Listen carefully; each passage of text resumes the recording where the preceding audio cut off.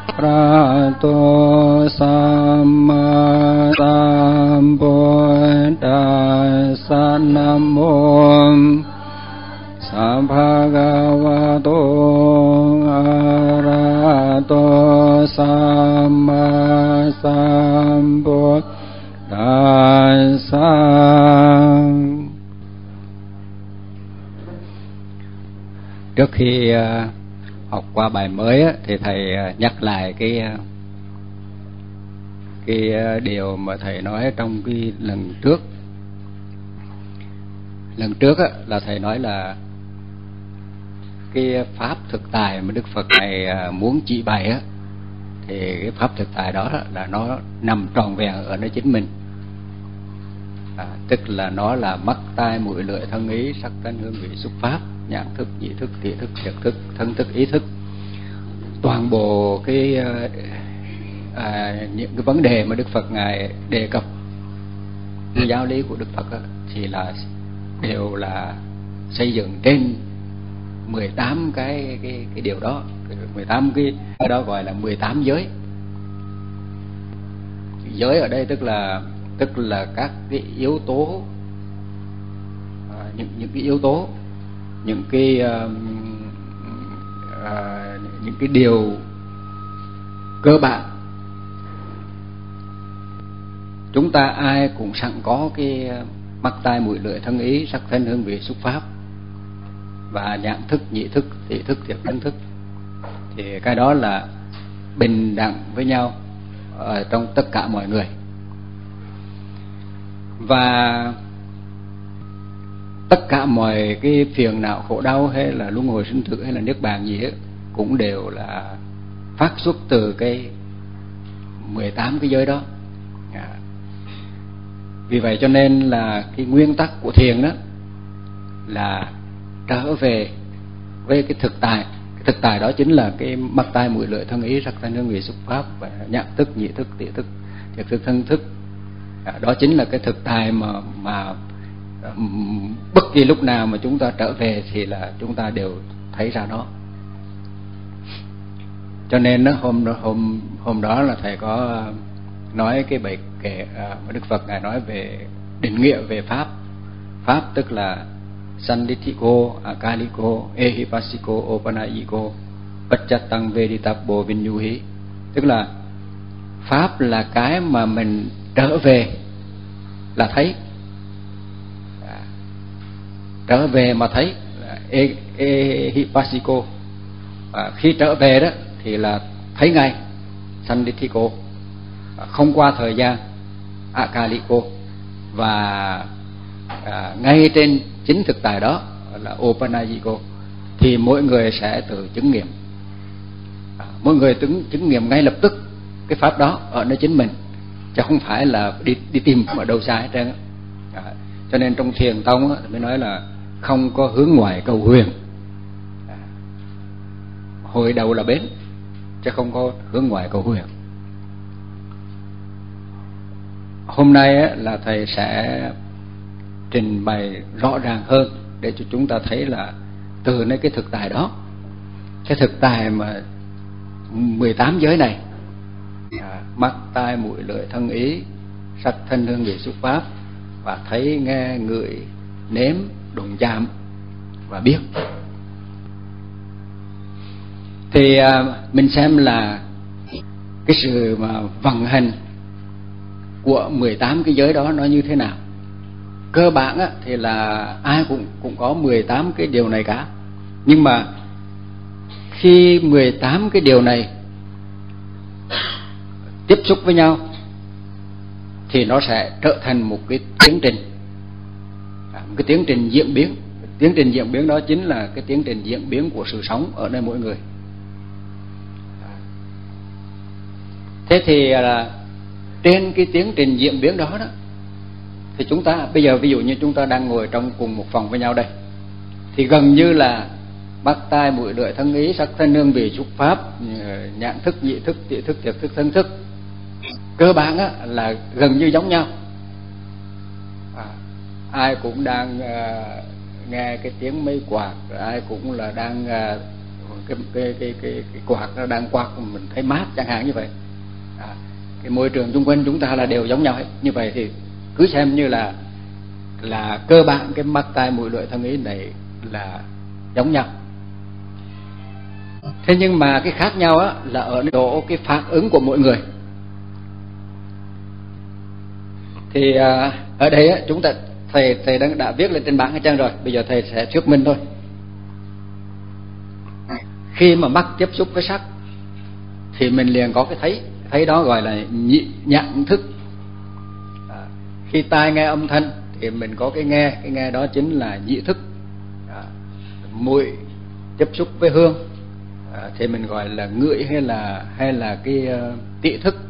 À, nếm là do vị uh, lưỡi uh, tiếp xúc với vị hay là thân tiếp xúc với cái vật thể thì nó nó tạo ra cái biết của cái sự đồng giảm ví dụ như mình bây giờ bây giờ mình thầy nhắm mắt nhưng mà thầy sờ sờ sờ đây thì mình vẫn biết là ở đây nó có trơn láng cái gì đó. Cái cái biết đó đó thì gọi là cái biết của của cái cái sự, sự đụng chạm.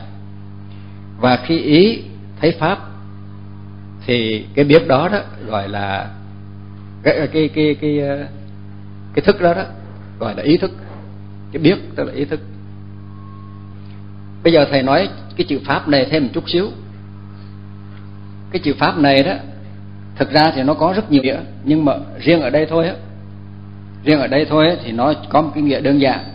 Tức là nó là cái hình ảnh mà thu lại cái sắc thân hương vị xúc ở bên ngoài. Ví dụ như đưa cái tay lên. À, thì ai cũng thấy là thầy đưa cái tay lên. Bây giờ thầy cất cái tay sau lưng. Thầy nói hồi nãy thầy đưa cái gì? Thì ai cũng nói là đưa cái tay ai nói đến cái tay tức là hồi nãy là cái tay cái, cái tay là thật cái tay là là nhưng mà bây giờ thầy cắt cái tay rồi đâu có cái tay nữa mà vẫn vẫn biết là cái tay. Như vậy đó là ý biết pháp. Như vậy cái tay nó bây giờ nó trở thành pháp. Một âm thanh cũng vậy. Mình nghe rồi thì à, mình nhận biết cái âm thanh đó. Nhưng bây giờ nói bây giờ ai hỏi lại là hồi nãy cái âm thanh gì? Thì mình vẫn à, vẫn nói lại được cái âm thanh đó. Như vậy á cái âm thanh đó bây giờ nó trở thành pháp. Thì sắc thanh hương vị xúc nó trở thành cái cái ý ý tưởng ý tưởng hay là ý tưởng ở trong mình. Thì cái đó, đó gọi là pháp. Thành đó nhớ một điều thế này. Cái cái này là hơi lạ đó. Tức là cái pháp nó là hình ảnh của sắc thân hương vị xúc, cho nên nó vẫn là sắc pháp. Chẳng đó không phải là, không phải là danh pháp, mà nó là vẫn là sắc pháp. À. tất nhiên là nhiều cái pháp khác, ví dụ như cái pháp sau này nó là là do ý đó, thì lúc đó nó là không là danh pháp. Nhưng mà cái pháp này đó, ở trong duy thức gọi là tiền, trần, lạc, tà, ảnh tử tức là tiền trần là năm cái cái, cái trần này này à, bây giờ nó còn là rơi rớt lại. Thu thu gom lại. Cái đó đó trở thành là cái pháp. Thì à, cái, cái ở trong một cái tiến trình tâm á nhưng mà trong cái tiến trình tâm á thì khi mắt tiếp xúc với sắc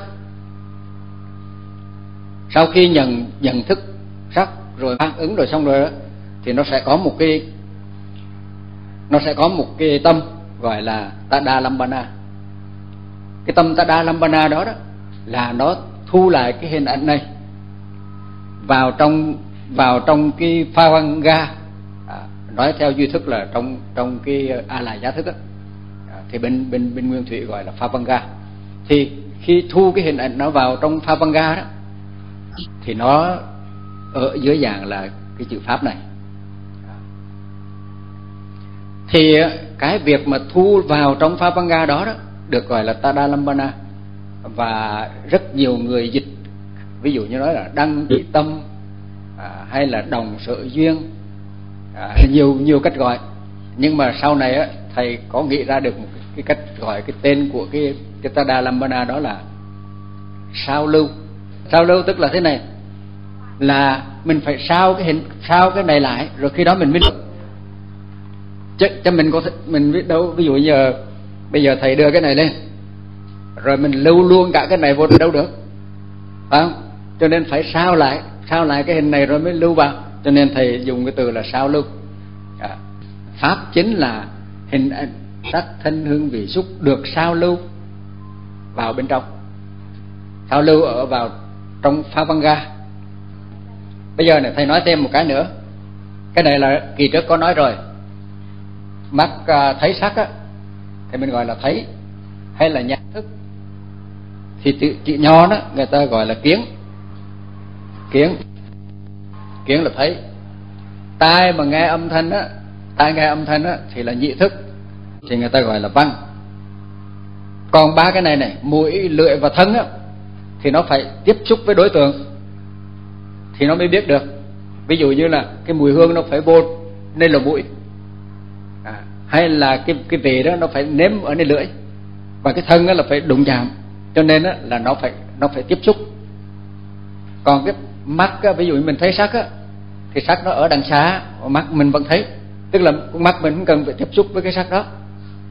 À, đó chỉ thấy. Cái nghe cũng vậy tức một âm thanh không không cần phải tiếp xúc với mình mình vẫn nghe được. À.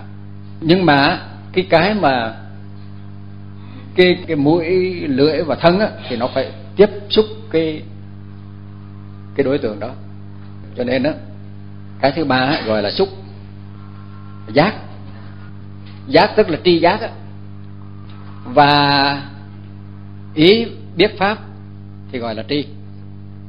Cho nên á mình ờ, nói khi cái cái cái sự ờ, sự sự là, ờ, là, là tương giao của căn trần á thì nó tạo thành ra cái kiến văn giác tri. Nhưng mà kiến văn giác tri đó thì người ta lấy đi hai cái thôi. Người ta gọi là kiến tri kiến. Và đôi lúc á người ta lấy một từ thôi. Lấy một từ thôi là kiến thôi. Lấy một từ kiến. Ví dụ như trong trường hợp trong trong uh, bát chánh đạo đó thì chánh kiến chẳng hạn thì ta dùng kiến thôi.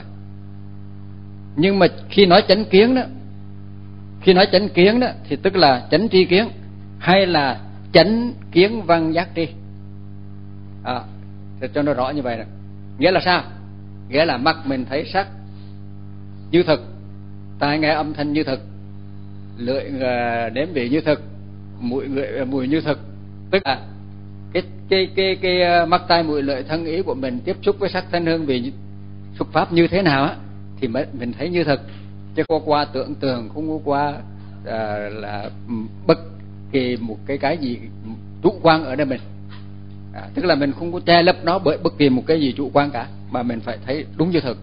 Vì vậy cho nên á ở trong thiền tông á thì kiến tánh gọi là kiến tánh. Kiến tánh thật ra đó là mắt tai mũi lưỡi thân ý tiếp xúc với sắc thân hương vị xúc pháp. Và thấy sắc thân hương vị xúc pháp một cách như thực gọi là kiến tánh chứ không có kiến tánh gì cả. À, cho nhiều khi mình mình nghe chữ kiến tánh là mình tưởng tượng ra kiến tánh là kiến một cái gì đó ghê gớm. Mà thực ra đó kiến tánh đơn giản đó chỉ là mắt tai mũi lưỡi thân ý thấy sắc thanh hương vị xúc pháp một cách như thực tức là gọi là thấy thực tánh pháp. Nói theo thiền vipassana đó, thì gọi là thấy thực tánh pháp. Thiền tông đó, thì gọi là kiến tánh.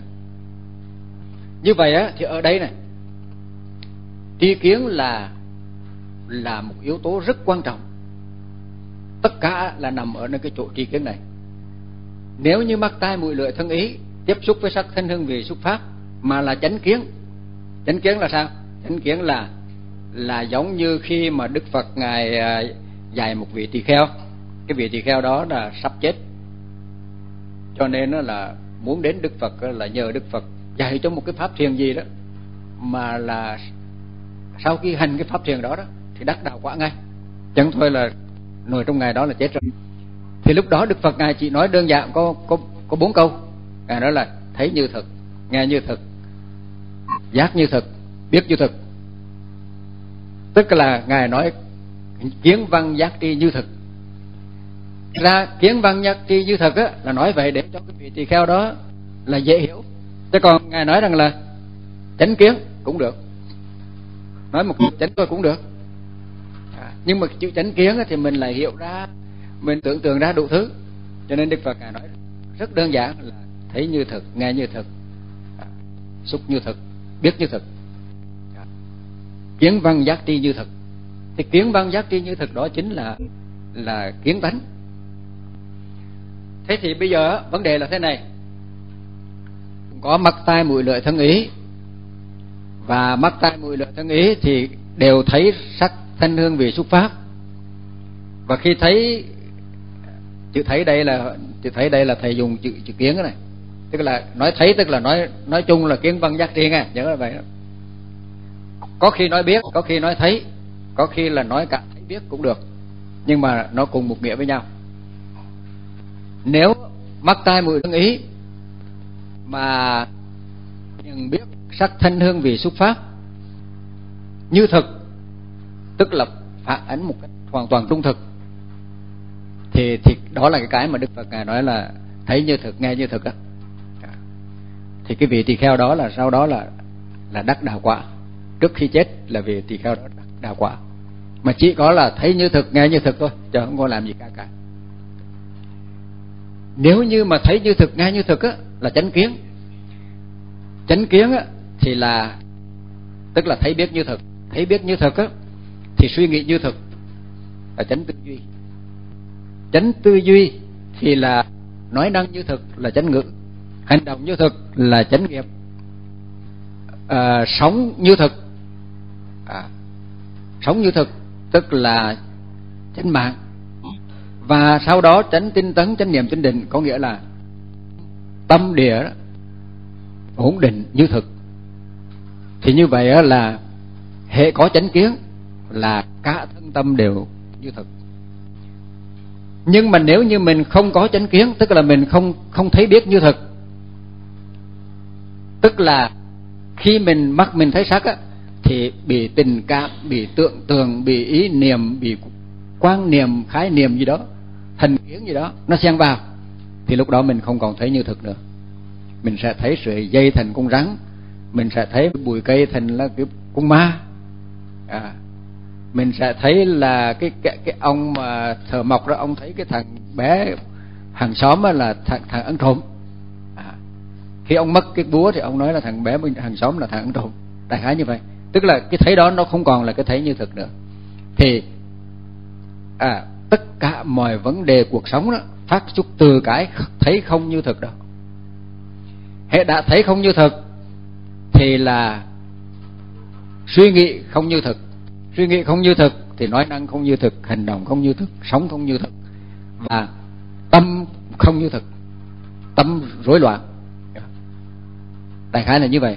Thì khi mà mình nắm được cái nguyên tắc đó đó, thì mình mới biết được tu tập như thế nào. Còn nếu mình không không nắm được cái nguyên tắc đó đó, thì mình cứ mày mò mày mò rồi mình cứ bắt cái tâm phải thế này, tâm phải thế kia, nó không đi tới đâu hết à, thế nên mình phải thấy rõ cái nguyên tắc đó. Bây giờ bây giờ chúng ta tìm hiểu tiếp. Ở nơi đây đó là khi mà mắt nhìn thấy sắc thì mình có một cái cảm giác gọi là cảm giác xã. tức là nếu mắt nhìn thấy sắc thôi á thì mình không cảm giác gì cả. Tức là cái cảm giác nó là một cảm giác trung bình bình thường khi tai mình nghe âm thanh á, thì cảm giác cũng là xã khi mũi mà ngửi hương á, thì cũng cũng xã mà lưỡi nếm vị á, thì cũng cảm cảm giác xã hết. Cảm giác xã thì gần gần như là không có cảm giác. Nhưng mà không phải là không có cảm giác, mà là cảm giác không khổ, không lạc. Cho nên gọi là cảm giác xã nhưng mà khi thân xúc chạm á, khi thân xúc chạm với một vật thể đó, thì nó có khổ hay là lạc?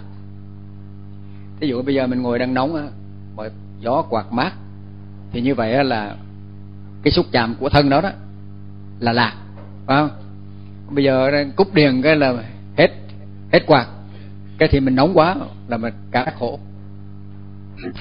Cho nên á thân xúc á thì là có cảm giác lạc hay là khổ. À, ở đây ở đây thầy ghi rõ này thân xúc á, thì có là cái khổ. Thì á khi mắt mình thấy sắc mà mình mình thấy khó chịu ví dụ như ánh sáng quá nhiều hoặc là mình làm uh, vi tính một hồi cái mắt nó nó nó nó nó, nó xuống xuống khó chịu ví dụ như vậy. Thế thì đó là cái gì? Đó là gì? Đó có phải là mắt thấy sắc không? Không phải. Đó là thân tiếp xúc đụng chạm. Tức là do cái ánh sáng đó, nó, nó, nó, nó, nó chạm vào cái cái cung mắt. Mà cung mắt á, là thuộc về thân. Còn cái cái mắt mà thấy sắc ở đây á, là nói về cái cái cái cái thần kinh mắt. Tức là cái cái mà cái cái cái cái mà nhận cái ờ, cái hình sắc thôi. Giống như cái cái máy ảnh á nó chỉ là như cái máy ảnh thôi. Cái máy ảnh á thì nó chỉ là chụp cái hình cho nó không có đau đớn gì cả. Nó không có đau đớn, không lạc gì cả. Thì nó nó chỉ làm cái công việc là nó thu cái hình ảnh thôi. Cho nên á, cảm giác của nó là cảm giác xả.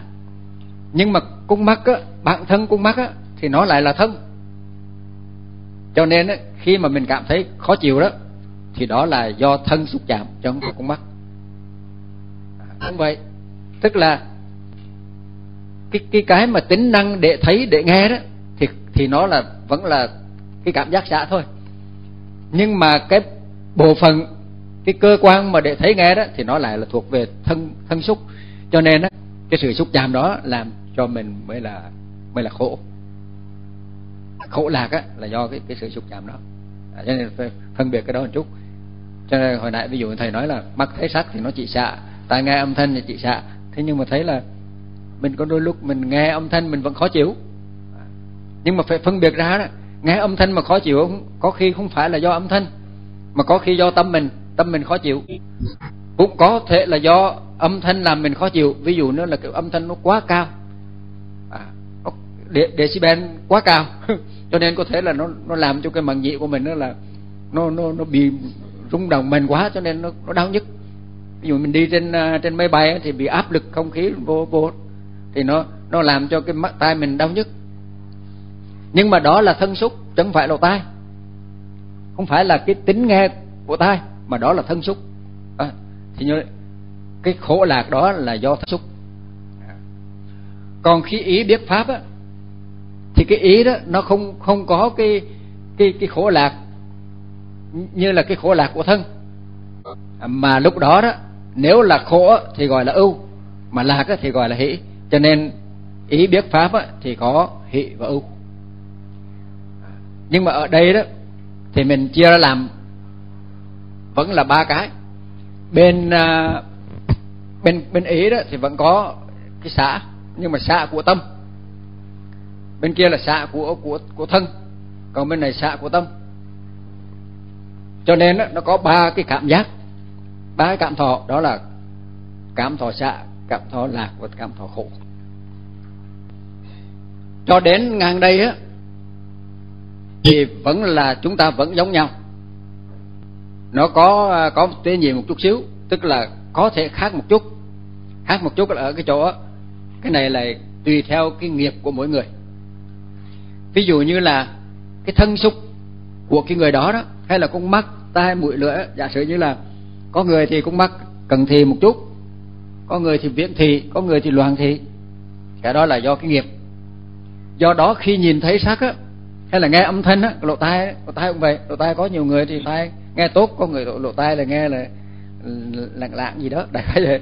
Tức là cái đó đó là do cái nghiệp mà mình mình là gánh chịu trên cái cái thân mà mình sinh ra đây.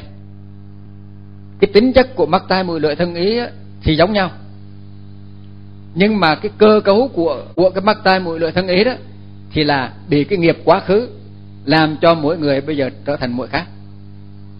Nhưng mà cái cái mỗi người tuy là mỗi khác ví dụ như thế này.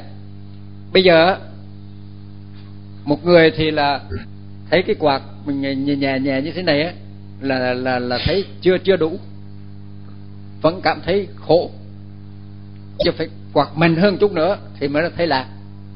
À, chứ còn là quạt trước đó là vẫn còn thấy khổ. Nhưng mà ngược lại á rồi mình mới tới tới đằng kia mình mới vặn cho nó mạnh hơn chút. Mà cái người bên này á thì làm mạnh hơn một chút á thì thành khổ. À, mà mà ít ít á thì nó mới lạc. Đó lúc đó nó có khác nhau khác nhau là do nghiệp. Khác nhau là do nghiệp chứ không phải là do cái tính năng của mắt tai mũi lưỡi thân ý sắc thân nương vị xúc pháp.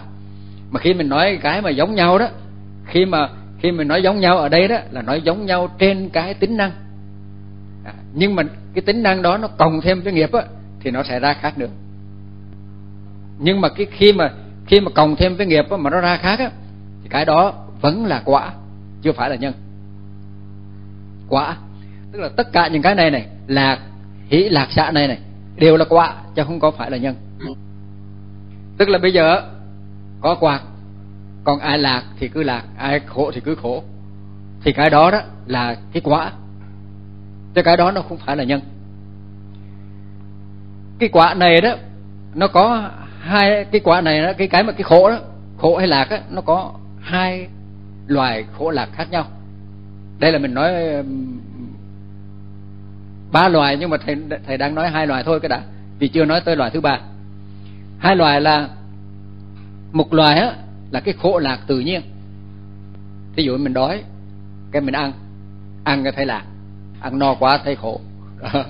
No quá thấy khổ rồi lát nữa chiều rồi vẫn cứ đói lại. À chẳng phải là nó nó nó nó, nó cứ khổ hoài như vậy. Nhưng mà chiều nó bắt đầu nó giảm giảm giảm xuống rồi, rồi chiều nó lại đói. À, thì mới mới dễ chiều một cái thì lại đói lại. Đói lại cho nên là khó chịu lại. Khó chịu lại nên mình ăn vô một cái thì dễ chịu lại. Dễ chịu lại rồi khó chịu lại. Cứ như vậy cho nên đó là cái cái cảm giác đó, nó thay đổi từ cái khổ lạc khổ lạc nó cứ thay đổi hoài như vậy và có vẻ như, có vẻ như là mọi cái cảm giác lạc đều đưa đến khổ. Ví dụ như bây giờ, các vị ngồi một hồi mọi chân rồi muốn đứng dậy, muốn đi lui đi tới. Nhưng mà bây giờ đi lui đi tới hoài là là một hồi là cũng thành khổ. Khổ rồi nó ngồi xuống ngồi xuống là thấy lạc. Rồi lạc một hồi là mọi chân lại thấy khổ.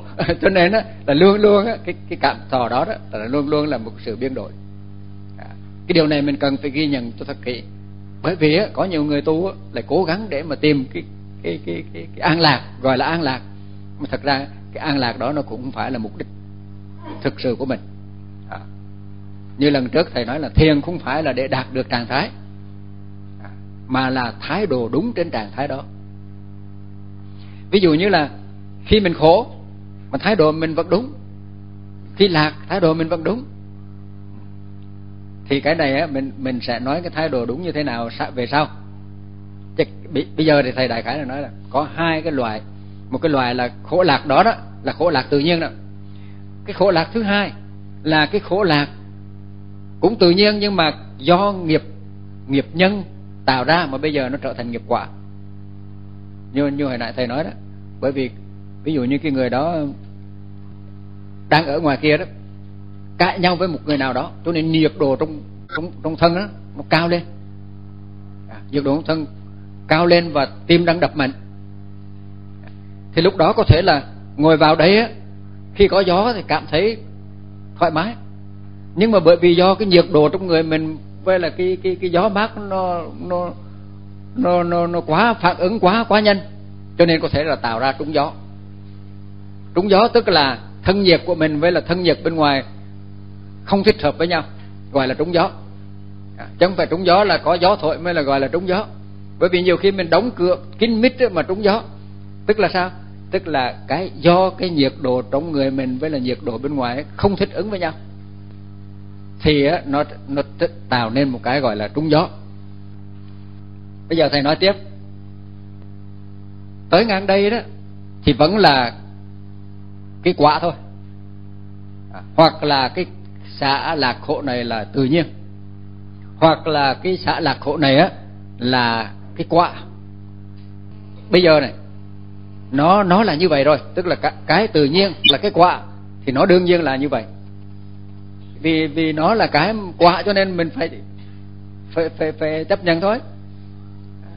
Nhưng mà bây giờ cái phản ứng của cái phản ứng hay là cái thái độ phản ứng như thế nào đó cái đó mới là vấn đề vậy thì bây giờ mình xem là thái độ phản ứng như thế nào đây. Khi xả khi xả tức là cái khi mà cái cái tâm, cái cái cái cảm giác của mình á, nó bình thường quá. Thí dụ như bây giờ chúng ta ngồi trong nhà, nhất là nhất là các em nhỏ, các em nhỏ, hoặc là một cái người nào mà thích là sống cảm giác mạnh ví dụ như là uống uống rượu là chơi, vui chơi gì đó bây giờ nếu mà để cho cái người đó ngồi trong nhà với một cái cảm giác rất bình thường thì người đó chịu cũng được. Là liền lập tức khởi cái tâm lên là muốn là đi tìm cái cái cái gì đó để mà mà mà thỏa mãn cái cảm giác của mình. À, thì á cái đó gọi là dục ái. Dục ái tức là cái tâm khởi lên muốn đi tìm một đối tượng để thỏa mãn.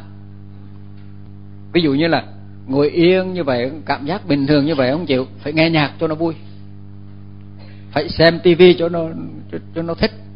Hoặc là đi uống rượu cho nó cảm giác mạnh. À, tức là đi tìm một cái gì đó. Thì cái mà đi tìm đó, đó nó nó là thuộc về sắc thân hương vị xúc. À, đi tìm là tìm chừng đó thôi chứ không tìm cái gì khác. Phải không? À, ví dụ ngồi buồn buồn là tìm cái gì đó để xem thì đó là thuộc sắc hay là nghe nhạc đó là âm thanh. À, hay là đi tìm cái mùi gì đó mùi hương gì cho nó nó thơm thì đó là là hướng. Hoặc là đi ăn uống gì đó là vì à, hoặc là tìm những cái cảm giác xúc chạm à, thì đó là là là là xúc như vậy á. Thì khi mà mình đang ở cái trạng thái cảm giác xã đó thì thường thường là mình có cái khuynh hướng muốn tìm kiếm cái à, cảm giác lạc. Tức là thích cảm giác lạc chứ không không không có thích là ở cái trạng thái à, quá là bình thường. Thì cái đó gọi là dục ái. Dục ái tức là tâm muốn đi tìm kiếm sở hữu những cái sắc thân hương vị xúc. Bây giờ nếu như mình đang ở nó một cảm giác lạc, bây giờ mình đang ở nơi cảm giác lạc á, thì mình lại muốn là duy trì cái cảm giác lạc đó lại. Cái người ăn ngon thì muốn lúc nào cũng ăn ngon. Yeah. cái à, soi gương thấy mặt mình đẹp thì thấy là muốn là lúc nào nó cũng đẹp như vậy. Tức là hệ, mà cái gì mà mình mình thích á, cái gì mà mà mình thích, mình vừa lòng á thì là mình muốn muốn giữ lại. Cái gì mà đem đến cái cảm giác lạc cho mình á thì mình muốn giữ lại. Đó. cái thứ ba là khi mà mình gặp cảm giác khổ thì mình lại có cái phi hữu ái. Phi hữu ái tức là không muốn không muốn cái cái cái cảm giác khổ đó tồn tại hoặc là muốn chấm dứt cái cảm giác khổ đó đi gọi là phi hữu ái. Phi hữu ái tức là tâm sân hữu ái là tâm tham. Và dục ái á, là chính yếu là si.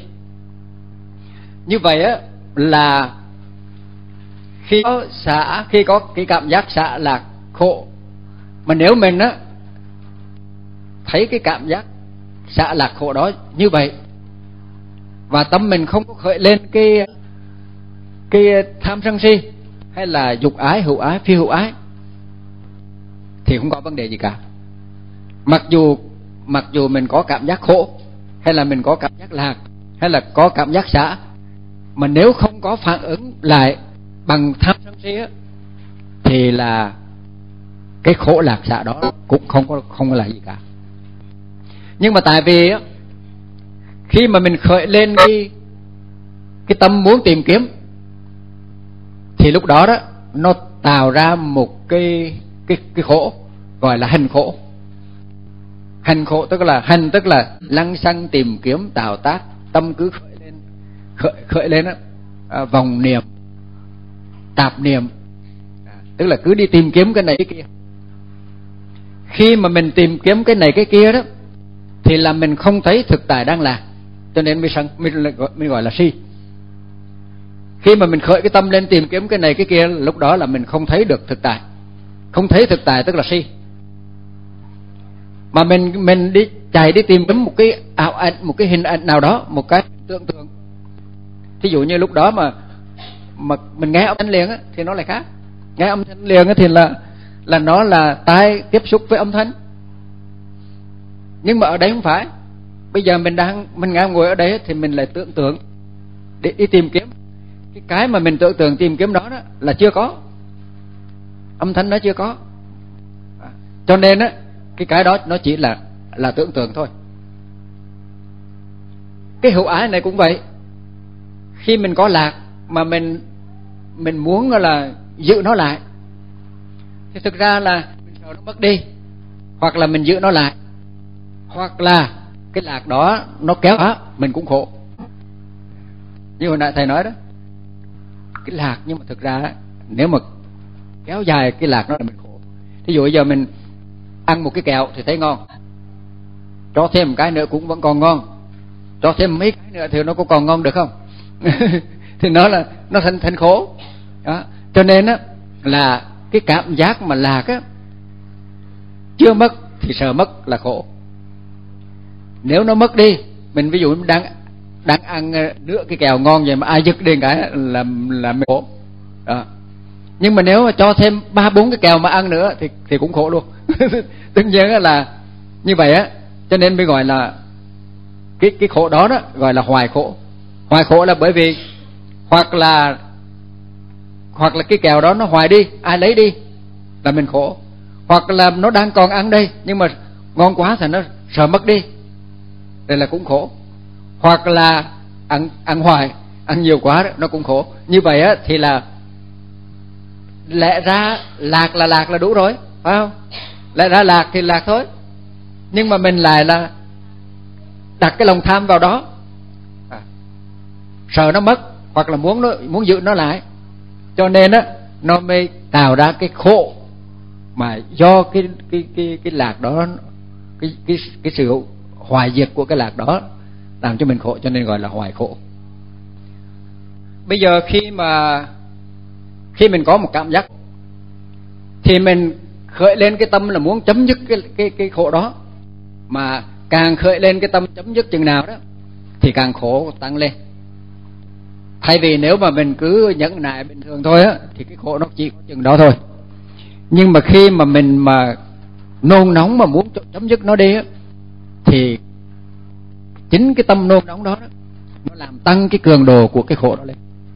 À, cho nên á mới gọi là khổ khổ. Khổ khổ tức là nó đã khổ rồi mà mình còn tự động mình tăng cường độ nó lên cho nên gọi là khổ khổ tức là cái khổ chồng lên cái khổ nữa.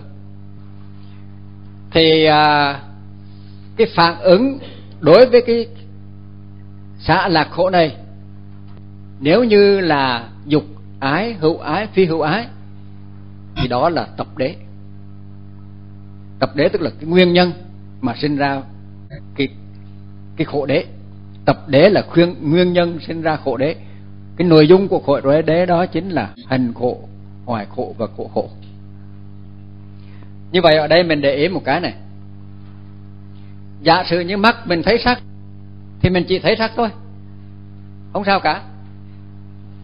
Thì thì không có khổ vào nếu mình mắt chỉ, mình chỉ thấy sắc, như thế nào thì mình thấy như vậy. Tai mình nghe âm thanh như thế nào thì mình thấy như vậy thì nó sẽ không có cái cái cái khổ đế đó. Mặc dù có thể là có cái xạ lạc khổ, nhưng mà cái cái xạ lạc khổ này á, nó vẫn không làm cho mình phiền não khổ đau. Nếu như mình là đủ nhẫn nại, hay là đủ trí tuệ để mà thấy rõ cái pháp đó nó nó đến, nó đi, nó sinh, nó diệt như vậy thôi, cái cái cái khổ lạc xạ đó đó nó đến đi như vậy thôi, thì không có gì khổ cả. Không có cái khổ này, không có cái khổ của khổ đế. Tức là nó sẽ không có cái hành khổ, hoài khổ khổ khổ. Vì vậy cho nên á,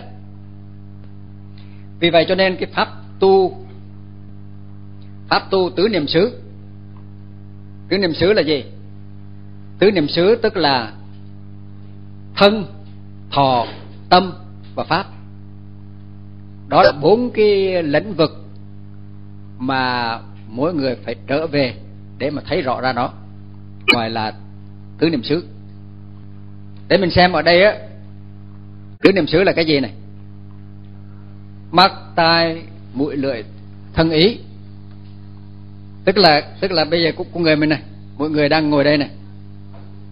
Thì à, niệm thân tức là trở lại thấy rõ mắt tai mũi lưỡi thân thân của mình. Niệm thân này đây là đề mục của niệm thân. Thực ra đó, khi mà mình mắt thấy sắc, cũng là bao hàm cái niệm thân ở trong đó. Tai nghe âm thanh và thân tiếp xúc chẳng hạn, thì là niệm thân bao gồm cả cái sự tiếp xúc này bởi vì thực ra mình cũng không tách ra cái thân riêng được. Mà khi khi đã có thân thì tự nhiên nghe cái mặt nó thấy. À, do đó đó thực ra mình phải là cái thế giới trần cảnh cái này là là căn môn cái này là trần cảnh. Thì thật ra đó căn môn với trần cảnh luôn luôn là tương tác với nhau. Chỉ có một số trường hợp ví dụ như khi mình ngủ. Thật ra khi mình ngủ đó thì căn môn và và à, và trần cảnh đó vẫn có tiếp xúc với nhau. Nhưng mà tại vì lúc đó, cái tâm của mình nó ở trạng thái phavanga cho nên nó không biết. Là không biết thôi, chứ không phải là không có. Thí dụ như là khi mình ngủ, một cái tiếng ồn, nó vẫn là tác động vào tai. Cái màng nhĩ mình cũng vẫn rung lên, nhưng mà mình không biết. Tức là lúc đó nó không có nhị thức. Chẳng phải là, chứ không phải là không có.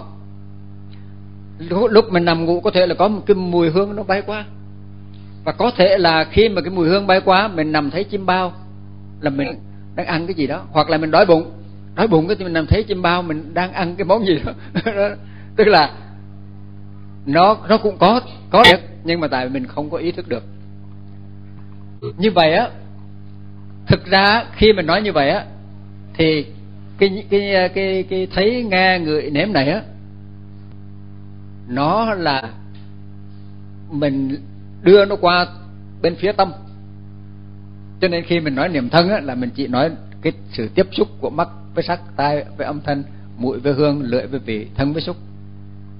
Thí dụ như bây giờ thế này. Thí dụ như là bây giờ mình à, thân, bây giờ thầy đang đang đang đi. Đây là như vậy, thân là thân đang đi.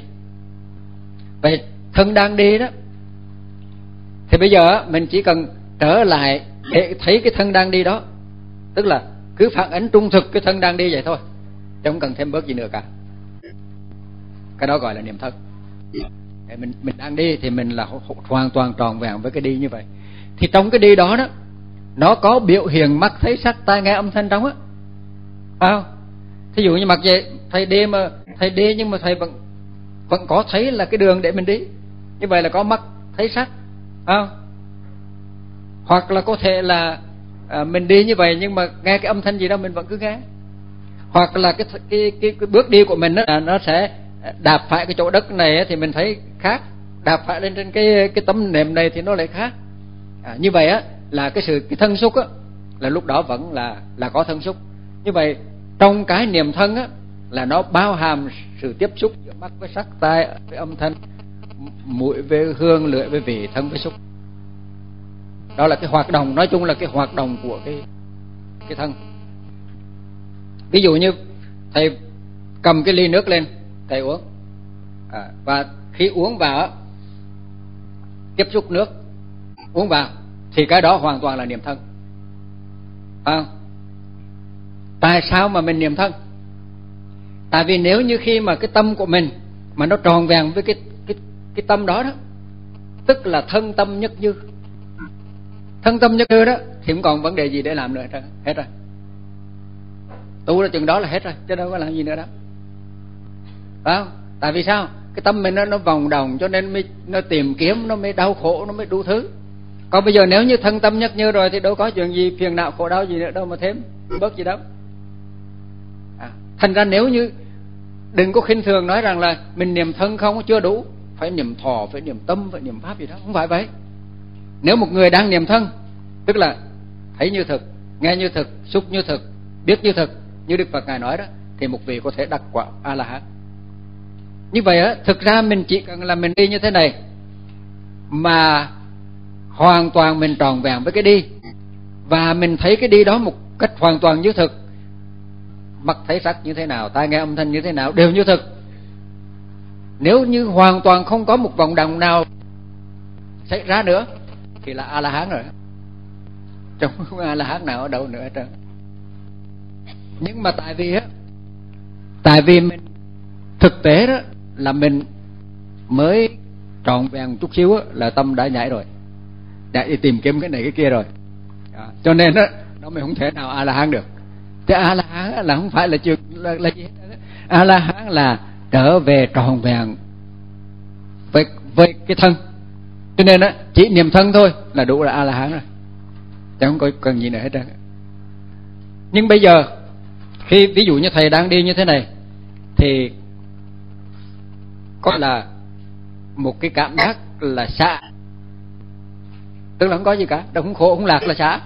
bây giờ thầy đang đi như thế này không có khổ có lạc gì cả tức là đang xả và khi đang xả như vậy thầy phản ánh trung thực cái xả đó thầy nhận thức cái xã đó như vậy và không thêm bớt gì nữa cả. Thì tức là không khởi lên cái dục ái cho nên nó sẽ có không có hành khổ. Và nếu như thầy đang đi như thế này và gió mát rồi để kia đàng hoàng đi đây nhẹ nhàng như thầy cảm thấy trong người lạc à, phải không? Thầy đi dưới này thấy êm cảm thấy lạc. Lạc mà cũng không khởi thêm gì cả. Cũng không có không hề có ý muốn là phải giữ cái lạc đó lại à, hay là cũng không sợ cái lạc đó mất đi không có gì cả thì lúc đó là đủ rồi đâu có thêm bất nữa. Hoặc là giả sử đi đi tới ngang đây cái nó đạp phải một cái gì đó.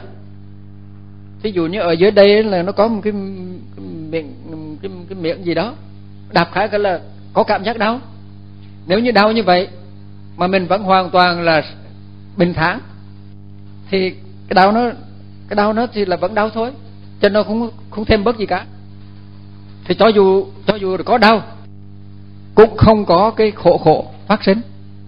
Tức là có khổ. Người ta nói là có đau nhưng mà không có khổ. Có thể là có đau nhưng mà không có khổ. Vì vậy cho nên á, bây giờ mình nói là tu là gì đây này?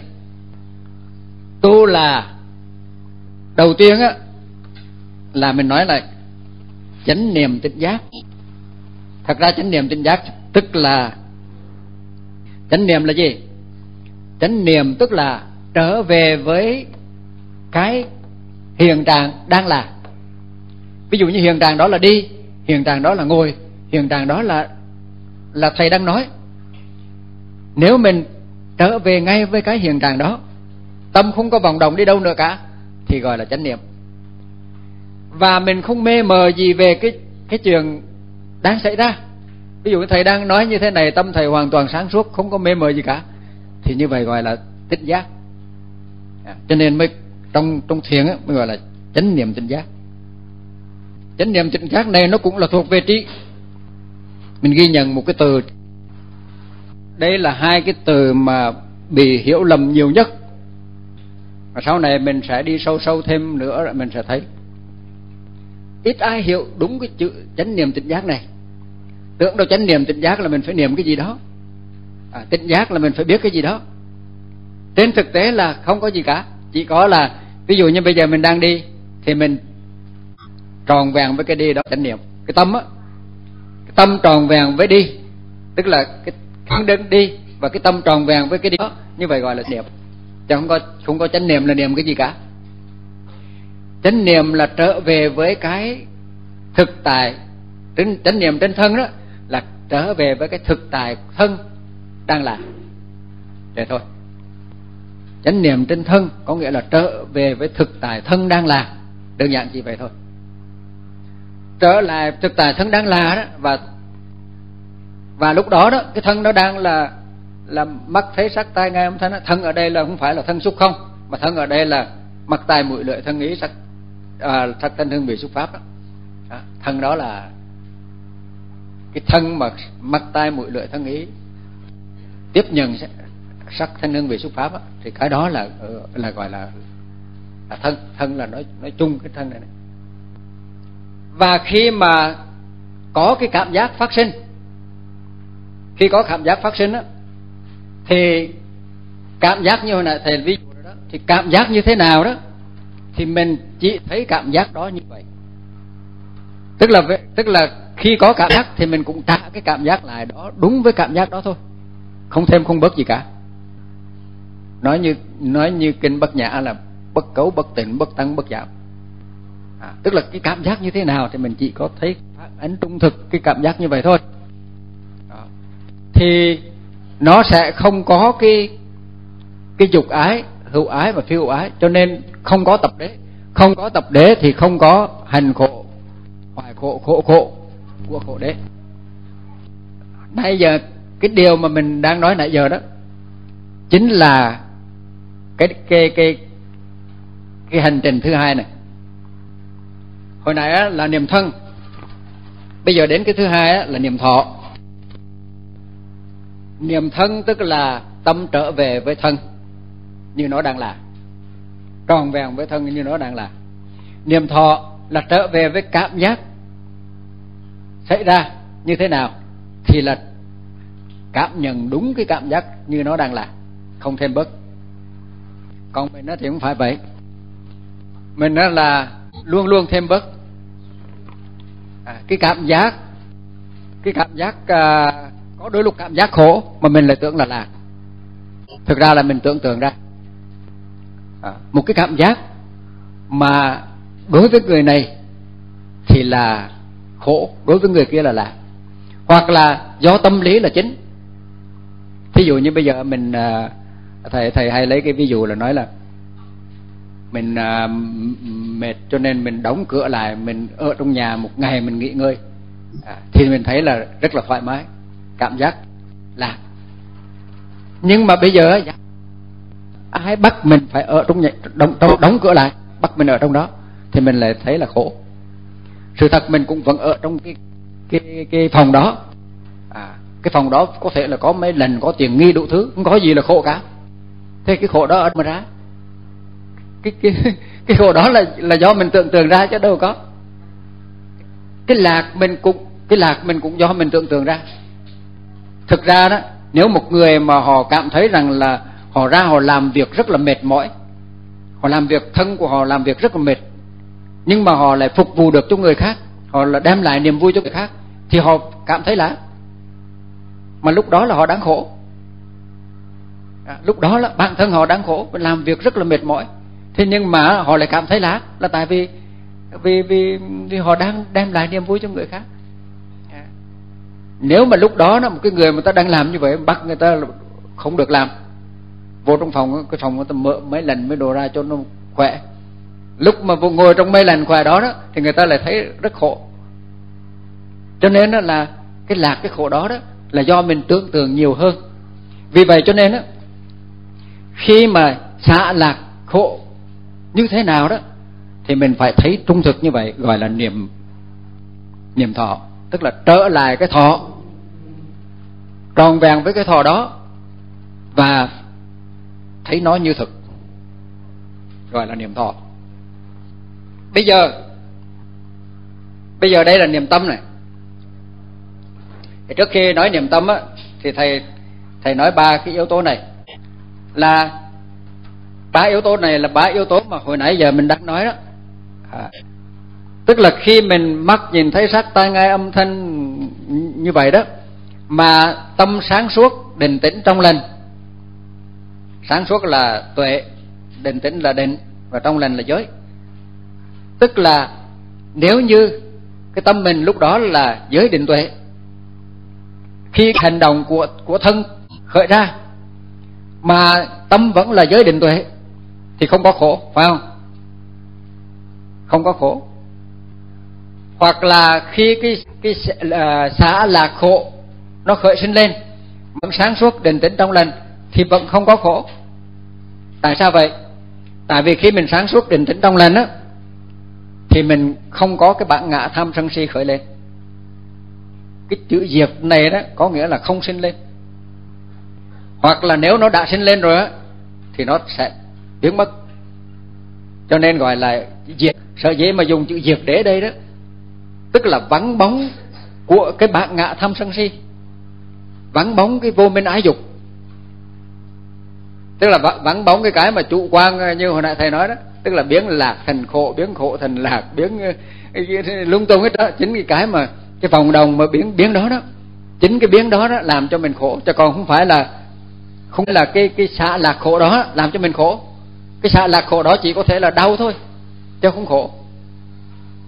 Nhưng mà, nếu như mình sáng suốt định tĩnh trong lành, đối với thân, gọi là niềm thân, sáng suốt định tĩnh trong lành, đối với là thọ, thì gọi là niệm thọ. Thì khi mà mình sáng suốt định tĩnh trong lành, tức là giới định tuệ, thay vì tham sân si, thì bây giờ là giới định tuệ, thì không còn tham sân si, thì gọi là diệt diệt đế là niết bàn. Vậy thì bây giờ chúng, bây giờ trở lại.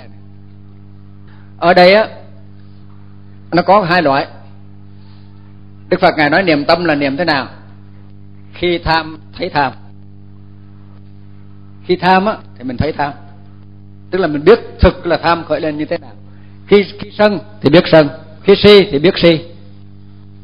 Khi không tham không sân không si thì biết không tham không sân không si. Cái đó gọi là niềm tâm. À, cho nên ở đây này đây là niềm tâm này. tức là nếu như mà ngay ở đây thân á mà hoàn toàn là là là không có có vấn đề gì hết trơn á, thì ngay nơi đây nó đã là niết bàn rồi. Phải không? Nhưng mà cái niết bàn đó nó bị cái cái cái cảm thọ nó khởi lên cái là làm mất niết bàn. Lúc đó nó làm cho mình tham sân si lại khởi lên. Tham sân si khởi lên cái á, thì mất niết bàn. Cho nên bây giờ mình phải là trả tham, trả cái cái cái cái xã lạc khổ này á, lại đúng với trung thực của nó bằng cách là mình niệm thọ thì lúc đó cũng là niết bàn. Mặc dù lúc đó là khổ vẫn là niết bàn. Cái này là trong kinh kể rất nhiều cái vị đang đau khổ như vậy nhưng mà đắc quả vị a la hán chẳng phải là cái, cái đạt mới là đắc quả vị a la hán đâu á. À, thì là khi mà khi mà mình không không an trú được ở nơi thân thì lúc đó đó nó nó nó phải nhảy qua thọ nhưng mà bây giờ mình muốn muốn cho cái này nó nó nó nó, nó trung thực á thì mình phải niệm thọ. Nhưng mà cái thọ này này nó đã khởi ra cái tham sân si rồi thì bây giờ niệm tâm chính là niệm cái tham sân si đó. Nghĩa là bây giờ sân thì phải trở lại thấy cái sân nó đang sinh diệt như thế nào. Nếu là nếu là đang tham thì phải trở lại nhìn cái tham đó. Nếu là đang si thì phải trở lại nhìn cái si đó. Thì cái đó là niềm tâm. Đó và khi không có tham sân si, thì lúc đó là có giới định tuệ. Thì mình cũng biết rõ là mình đang sáng suốt, mình đang định tĩnh, nó đang trong lành. Thì như vậy cũng là niềm tâm. Thành ra, có ba ba cái cấp độ. Một cấp độ là ở ngay nơi thân. Mà nếu niềm thân mà hoàn toàn là là ổn rồi, là hoàn toàn là rỗng lành trong sáng không còn gì cả, thì như vậy ngang đây là đã giải thoát rồi nhưng mà giải thoát được thân mà có có khi thò lại làm cho mình lại lại bất an trở lại. Thế thì bây giờ nếu mình mà đủ cái chánh niệm tinh giác để mình trả cái cái thò lại cho thọ thì lúc đó tâm là vẫn là an ổn niết bàn như thường. Nếu mà lỡ mà tâm nó đã khởi lên rồi nó đã phản ứng tâm khởi, thế này thế kia rồi thì bây giờ phải trở lại lắng nghe thật rõ ràng à, tức là chánh niệm tỉnh giác á. Chánh niệm tỉnh giác hoặc là sáng suốt định tĩnh trong lành để mà thấy rõ cái cái cái à, tham sân si đó thì lúc đó cái tham sân si sẽ không còn. À, tức là thực ra đó, nếu mình tham tham là gì? Tham là khởi cái tâm ra để mà muốn nắm giữ nắm bắt cái gì đó. Gọi là tham. Sân là gì? Sân là muốn khởi cái tâm ra muốn dẹp cái gì đó gọi là sân. Thế nhưng bây giờ thay vì dẹp cái đó hay là nắm giữ cái đó thì mình lại trở lại ngay đến cái tham rồi. À, tức là khi cái tâm mình đang khởi lên tham mà mình lại nhìn lại được cái tham đó rồi thì cái tham đó nó không còn chạy ra để nắm bắt nữa. Tức là mình vô hiệu hóa hóa giải được cái tham đó. Khi đang sân mà mình khi nào các vị không tin như coi bây giờ đang với ai đó thì đừng có để ý tới người đó nữa mà là để ý lại mình xem từ lúc đó tim mình đập như thế nào xem từ lúc đó mình như thế nào thì lúc đó đó là mình sẽ là là hết sân à, à. cho nên khi mà đã lỡ tham sân si mà khởi lên rồi đó thì là chánh niệm tỉnh giác hay là sáng suốt định tĩnh trong lành để mà thấy rõ cái tham sân si đó thì thì là tham sân si đó nó cũng là trả lại cái cái cái cái lúc đầu của nó.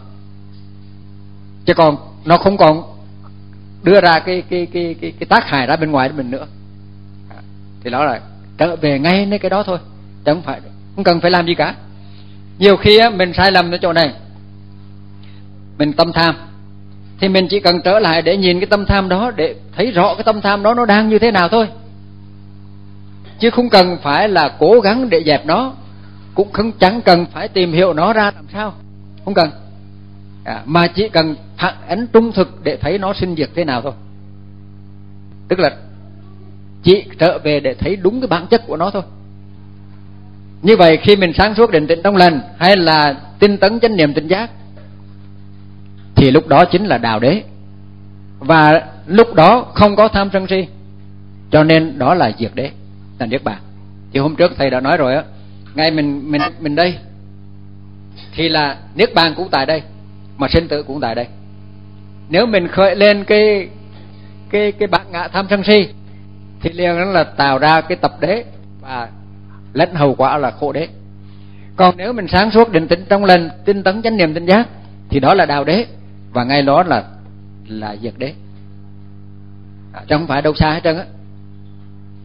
Không phải là mình đang cố gắng để uh, tu tập để ngày này ngày kia rồi, rồi để cho tới niết bàn. Không phải niết bàn ở đằng xa kia mà là niết bàn nó ở đây.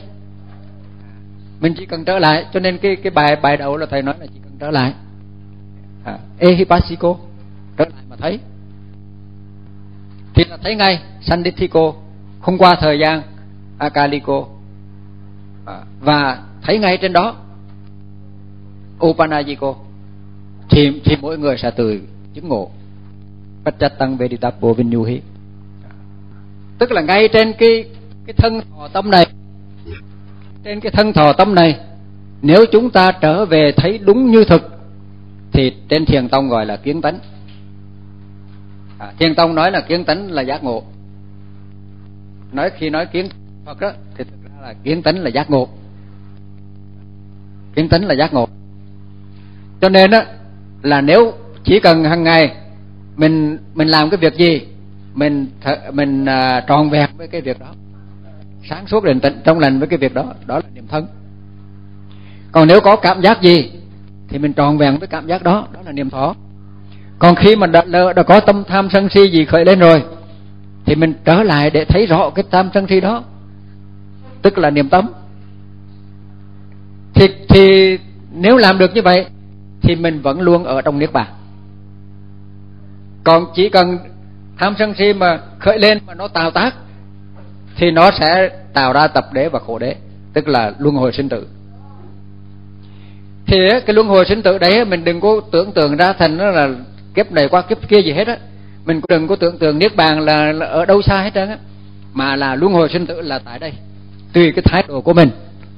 Ngay nơi cái thân này ngay nơi cảm thọ này ngay nơi cái tâm này thì một là luân hồi sinh tử mà hai là niết bàn. Đó, muốn chọn cái nào đó thì chọn. Cái đó cái đó tự tự do tự tại là cái không phải ai bắt buộc mình hết trơn á. Mình, ngay đây mình có thái độ đúng thì niết bàn, mà có thái độ sai thì là là sinh tử, vậy thôi. Còn có một cái niềm khác, đó là niềm pháp. Khi mình niệm thân là mình mình tròn vẹn phạt trung thực cái cái đi ví dụ thầy đang đi hay là đang nói đây thì tròn vẹn trung với cái đang đi đang nói đây gọi là niệm thân. À. và khi có cảm giác gì thì mình tròn vẹn với cảm giác đó. À, phản à, trung thực cảm giác đó chứ không thêm thắt. À, không tưởng tượng ra thì đó là niệm thọ. Và khi cái tâm mình đã khởi lên tham sân si gì đó thì trở lại để thấy rõ cái tham sân si đó tức là niệm tâm. À, lúc đầu á cái nào thì mình thấy cái đó. Cho nên gọi là niềm thân niềm thọ niềm tâm. Nhưng mà đến khi mình nhuần nhuyễn rồi á thì mình mình thấy là cái thân cái thọ cái tâm này là nó nó có một cái chuỗi vận hành. Thí dụ như bây giờ thầy à, cầm cái ly nước như vậy là thân á. Rồi uống vào dễ chịu là thọ nè và cái tâm dễ chịu cái là thấy hoan hỷ, là tâm đó nè. Thì toàn bộ cái diễn biến của thân thọ tâm đó diễn ra như thế nào mình đều thấy rõ hết. À tức là cái nào cái nào quá, nói là nói là nói ra ngôn ngữ vậy thôi, chứ còn mình chỉ thấy nó nó nó diễn biến thôi. Diễn biến như thế nào thế nào mình diễn biến như vậy, không hề mê mờ trong đó, tức là niệm pháp tức là cái thân nó không phải tách riêng cái thân ra một cái tại lúc đầu á thì mình lo niệm thân thôi. À, là khi nào thọ thì niệm thọ thôi. Khi nào tâm thì niệm tâm thôi. Nhưng bây giờ khi cái tâm nó đã đạt đến một cái mức thì lúc đó nó thấy thân thọ tâm diễn ra à, theo một cái cái tiến trình một cái trình tự. Cho nên lúc đó bắt đầu thấy rằng là mọi pháp đều mọi thứ đều là sự diễn biến của pháp. Không có bản ngã trong đó không ta gì cả. Tất cả mọi là cái phạm ví dụ như này con mắt thì thấy sắc thôi. Bởi vì con mắt thấy sắc bây giờ nó là do do cái cái cái sắc đó nó nó nó, nó chiếu vô quá mình để cho làm cái mắt mình đau. Thế như vậy là thọ. Rồi cái tâm mình dương cái đó cái thọ đó cái tâm mình khởi lên. Có thể là tâm mình khởi lên lúc đó tham sân si hay là lúc là sáng suốt định tĩnh trong lành thì như vậy á mình đều thấy rõ. Nhưng mà trong đó có một cái điểm nhấn mạnh là thấy rõ khi cái diễn biến đó xảy ra đó, là diễn biến của luân hồi sinh tử hay là diễn biến mà vẫn là niết bàn. Đó là đó là niệm pháp. Cho nên á, mình thấy là gần như không có ai dạy niệm pháp. Chỉ có cái trường thiền dạy niệm thọ, niệm thân, niệm tâm. Chứ không có trường thiền nào dạy niệm pháp cả. Là tại vì sao? Là bởi vì á khi ban đầu á, thì là tách ra cái đối tượng này riêng, đối tượng để riêng để mà hành cho dễ. Nhưng mà sau đó đó, thì mình cứ sống hoàn toàn bình thường, tự nhiên. Và trong cái tự nhiên đó, mình thấy ra cái nào là thân, cái nào là thọ, cái nào là tâm, cái nào là cái diễn biến của thân tâm như thế nào á, thì mình đều là thấy rõ cả. Thì lúc đó đó gọi là niệm pháp. Như vậy á, niệm pháp là là niệm thế này. Là niệm sự vận hành tương tác ở giữa thân thọ và tâm. Rồi bài giảng hôm nay là tới ngang đây. Bây giờ quý vị có thể đặt câu hỏi. Bạch thầy hồi nãy thầy giảng là niệm pháp á, là là là theo dõi cái trình tự diễn biến nó là luân hồi sinh tử hay là niết bàn. Thì con chưa hiểu rõ câu này xin thầy hoan hỷ thầy lấy một ví dụ cái ví dụ này là là ví dụ trong kinh tứ niệm xứ. À, khi đức phật ngài nói dạy về niệm pháp đây là lấy một cái một cái loại niệm pháp. Đức phật ngài nói như thế này. Khi mắt tiếp xúc với sắc thì thấy rõ đây là mắt đây là sắc đây là sự tiếp xúc đây là nhãn thức. À, và trong sự tiếp xúc đó kiết sự khởi lên hay là không có kiết sự khởi lên ví dụ như bây giờ thế này, bây giờ mình đứng đây, không cần tu hành gì hết trơn mình không không có bạn ngạ, không có tham lam, sân hận, si mê gì hết trơn là mình hoàn toàn đứng đây, không làm gì cả. Thì thì vẫn là sáng suốt, định tĩnh, lành như thường. Thật ra chính vì cái bản ngã cái này thì mấy cái lần sau thầy sẽ phân tích rõ hơn. Cái bản ngã đó, nó mới nó mới khởi lên, nó mới là phản ứng nó mới tạo ra tham sân si, tạo ra nghiệp.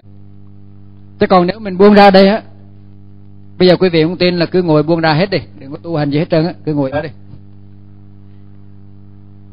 Thì quý vị vẫn vẫn thấy ờ, quạt mát, phải không? Vẫn nghe thầy nói âm thanh khởi ra, vẫn nghe. Như vậy chứng tỏ rằng bây giờ mình ngồi yên, không làm gì cả. Thì cái hoạt động của cái cái tánh biết vẫn tiếp tục dù không có bạn ngã gì cả, không không có bạn ngã làm gì hết, thì cái tánh biết vẫn là, vẫn thể hiện qua mắt, thấy sắc tai nghe âm thanh như thường. Mà lúc đó đó, khi không có bạn ngã đó, thì lúc đó là như thực. Lúc lúc mà không có bạn ngã, xen vào để mà tính toán thế này thế kia gì cả, thì lúc đó mới là thấy như thực, nghe như thực, xúc như thực, biết như thực cho nên thầy nói đừng có tu, thầy nói đừng có tu. Cứ cố gắng tu chừng nào là càng sai chừng đó. Bởi vì cái cái cố gắng tu đó nó là cái bạc ngã. Cái bạn ngã muốn đạt được cái này, cái bạn ngã muốn đạt được cái kia, muốn muốn muốn thế này thế nọ này. Cái đó chính là cái tiến trình của cái dục ái, hữu ái, phi hữu ái. Thay vì bây giờ tất cả mọi người đứng đây, buông ra hết, thì cái tánh biết vẫn sáng suốt định tĩnh trong lành thế mà mình lại cứ khởi lên cái là mình muốn là bây giờ tôi phải ngồi lại. À, tôi phải xếp bàn lại. Tôi phải là giữ cái tâm tôi lại. Tôi phải làm thế này thế kia đủ thứ hết á. Tức là cái đó là bạn ngạ lăng xăng cái bạn ngạ nó làm đó để làm gì? Để muốn được cái này để muốn được kia. Muốn dẹp cái này muốn dẹp cái nọ. Muốn dẹp tức là phi hữu ái. Tức là hữu ái. Và cái tâm lăng xăng cứ muốn tìm kiếm đó là dục ái. Như vậy thì vô tình là khi mà mình cố gắng muốn tu đó lại rơi vào dục ái hữu ái phi hữu ái. Nhưng bây giờ mình buông ra một cái thì nó liền sáng suốt định tĩnh trong lành phải không? Mình buông ra một cái thì nó liền sáng suốt định tĩnh trong lành cái đó mới lạ. Lần trước thầy đã nói rồi thì ra pháp á, vốn đã hoàn chỉnh tánh biết cũng đã hoàn chỉnh chỉ có cái bản ngã vô mà của quầy thôi chỉ có cái bản ngã cứ khởi lên mà quầy tầm bầy tầm bà mà, mà đau khổ thôi chứ không có ai hết trơn khởi lên ăn cắp ăn trộm cũng có. Khởi lên muốn tu đắc cái này cái kia cũng có. Cũng giống nhau thôi. Cũng phát xuất từ một cái bạn ngã lăng xăng muốn tìm kiếm đạt được. Muốn thụ đắc cho mình cái này thụ đắc cho mình cái kia. Tất cả cái đau khổ nó nằm ở chỗ đó. Nhưng mà mình buông ra thì lại càng rõ ràng hơn. Nếu khi mình ra rồi thì tự nhiên mình sẽ đi đâu đó rõ ràng, bởi vì tâm mình đâu bị chi phối cái gì đâu. Cho nên mình sẽ đi hoàn chỉnh nhất. Mình sẽ ngồi ăn hoàn chỉnh nhất. Mình sẽ làm công việc hoàn chỉnh nhất. Chẳng phải nói buông ra là không làm gì đâu. Tại vì buông ra thì duyên của pháp nó vẫn cứ đến, và mình vẫn cứ làm. Chứ không phải là không làm. Nhưng mà tất cả cái làm đó đó, không phải là cái bản ngã lăng xăng cái này là những cái lần sau thầy sẽ nói rõ hơn trong cái, cái pháp mà mình gọi, mà gọi là tu. Thực ra không phải là tu. Không phải là tu mà là trở về để để thấy ra được cái cái cái cái thực tài đang là đây. Mà cái đó đó tất cả những cái tu hay là những cái làm cái gì đi cũng đều là chạy ra khỏi cái cái thực tài đó để mà đi đi nắm bắt. Cái nắm bắt chạy ra khỏi thực tài nắm bắt đó là cái ảo tượng của bạn ạ người ta gọi là cái tá ảo tưởng. Cái tá ảo tưởng mới là lăng xăng tạo tác lung tung. Chứ còn con người thực của mình á, thì sẽ làm sẽ làm cái việc gì cần thiết. Tức là nó đủ sáng suốt để thấy ra việc gì cần làm, việc gì không cần làm. Rõ ràng minh bạch. Bây giờ về không tin á, cứ buông ra đừng làm gì hết trơn đừng có để bạn ngạ tham sân si xen vào gì hết á. Thì về nhà vẫn làm được mọi chuyện hết có một cái ờ, hôm đó, năm năm kia đó, thầy ra ngoài hà nội á, thì có một cái bà đó cũng cũng khoảng trung niên. Bà nói rằng là bà đã bỏ công việc, nhà bỏ hết tất cả mọi chồng con con cháu gì bà bỏ hết. Bà đi hành thiền ở nơi cái trường thiền này là mấy năm. Rồi qua trường thiền kia mấy năm rồi ông thầy này chưa không được, thì đi qua ông thầy khác. Cứ đi như vậy. Thì hôm đó thầy ra cái nhân duyên sao bà lại nghe. Nghe là, nghe rồi á, thì bà mới chạy tới tìm thầy nơi chỗ mà thầy ở. Thầy mới giảng cho bà nghe đâu đó xong rồi cái. Hôm sau bà trở lại. Bà nói con thấy té ra mình đâu cần làm gì đâu. Con về nhà đó con về nhà con nấu ăn. Nấu ăn ấy, thì đưa cái, cái, cái đứa cháu biểu nó vô à, giòn giòn chén bát. Nó nói con không vô. Con mất bàn rồi bận bận bận bàn rồi họ không vô được. Thì á thay vì là bà nói là như là, như hồi trước là như vậy là con tức giận đó. Bây giờ con không tức giận, nó không giận mình giỡn nó không giận mình giỡn và bây giờ nó nó à, coi nó có đứa, bao nhiêu đứa bạn.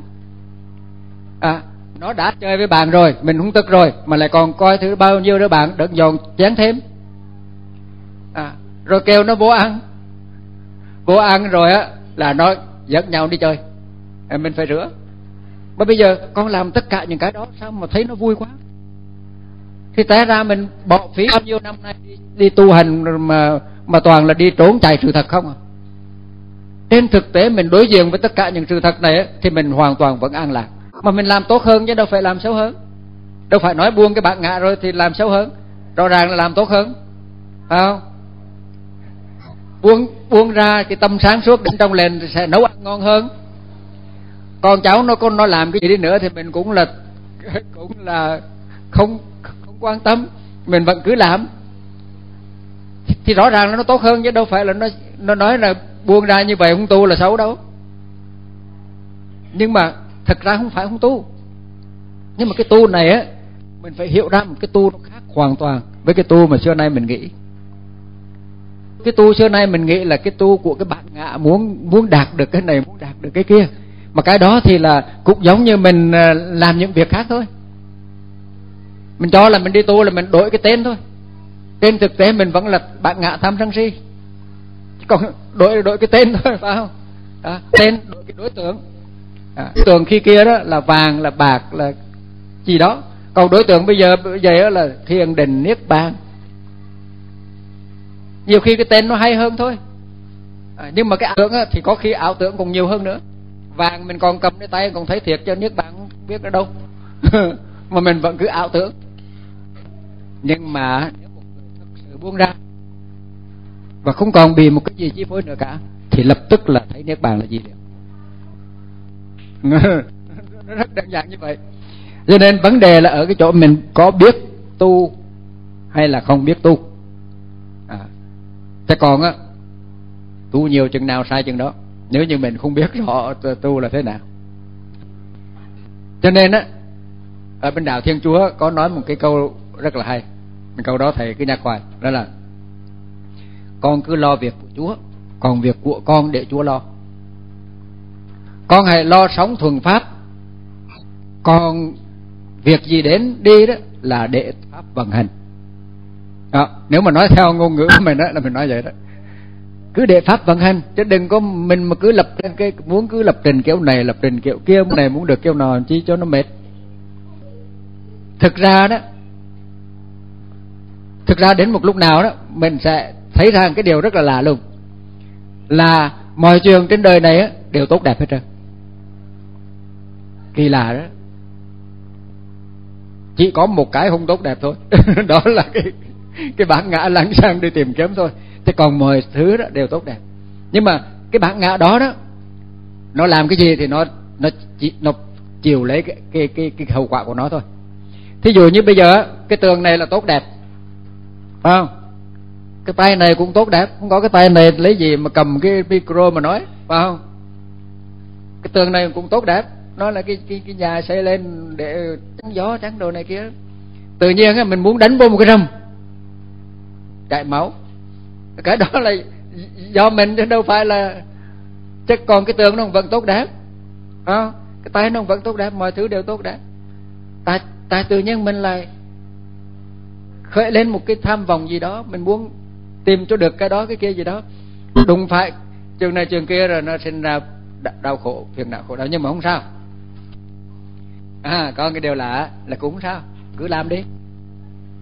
Làm rồi thì nó sẽ pháp nó sẽ dạy cho cái bài học học ra thôi chứ không sao cả. À. tức là nếu như mình chưa thấy thì tương nhiên là mình mình cứ làm.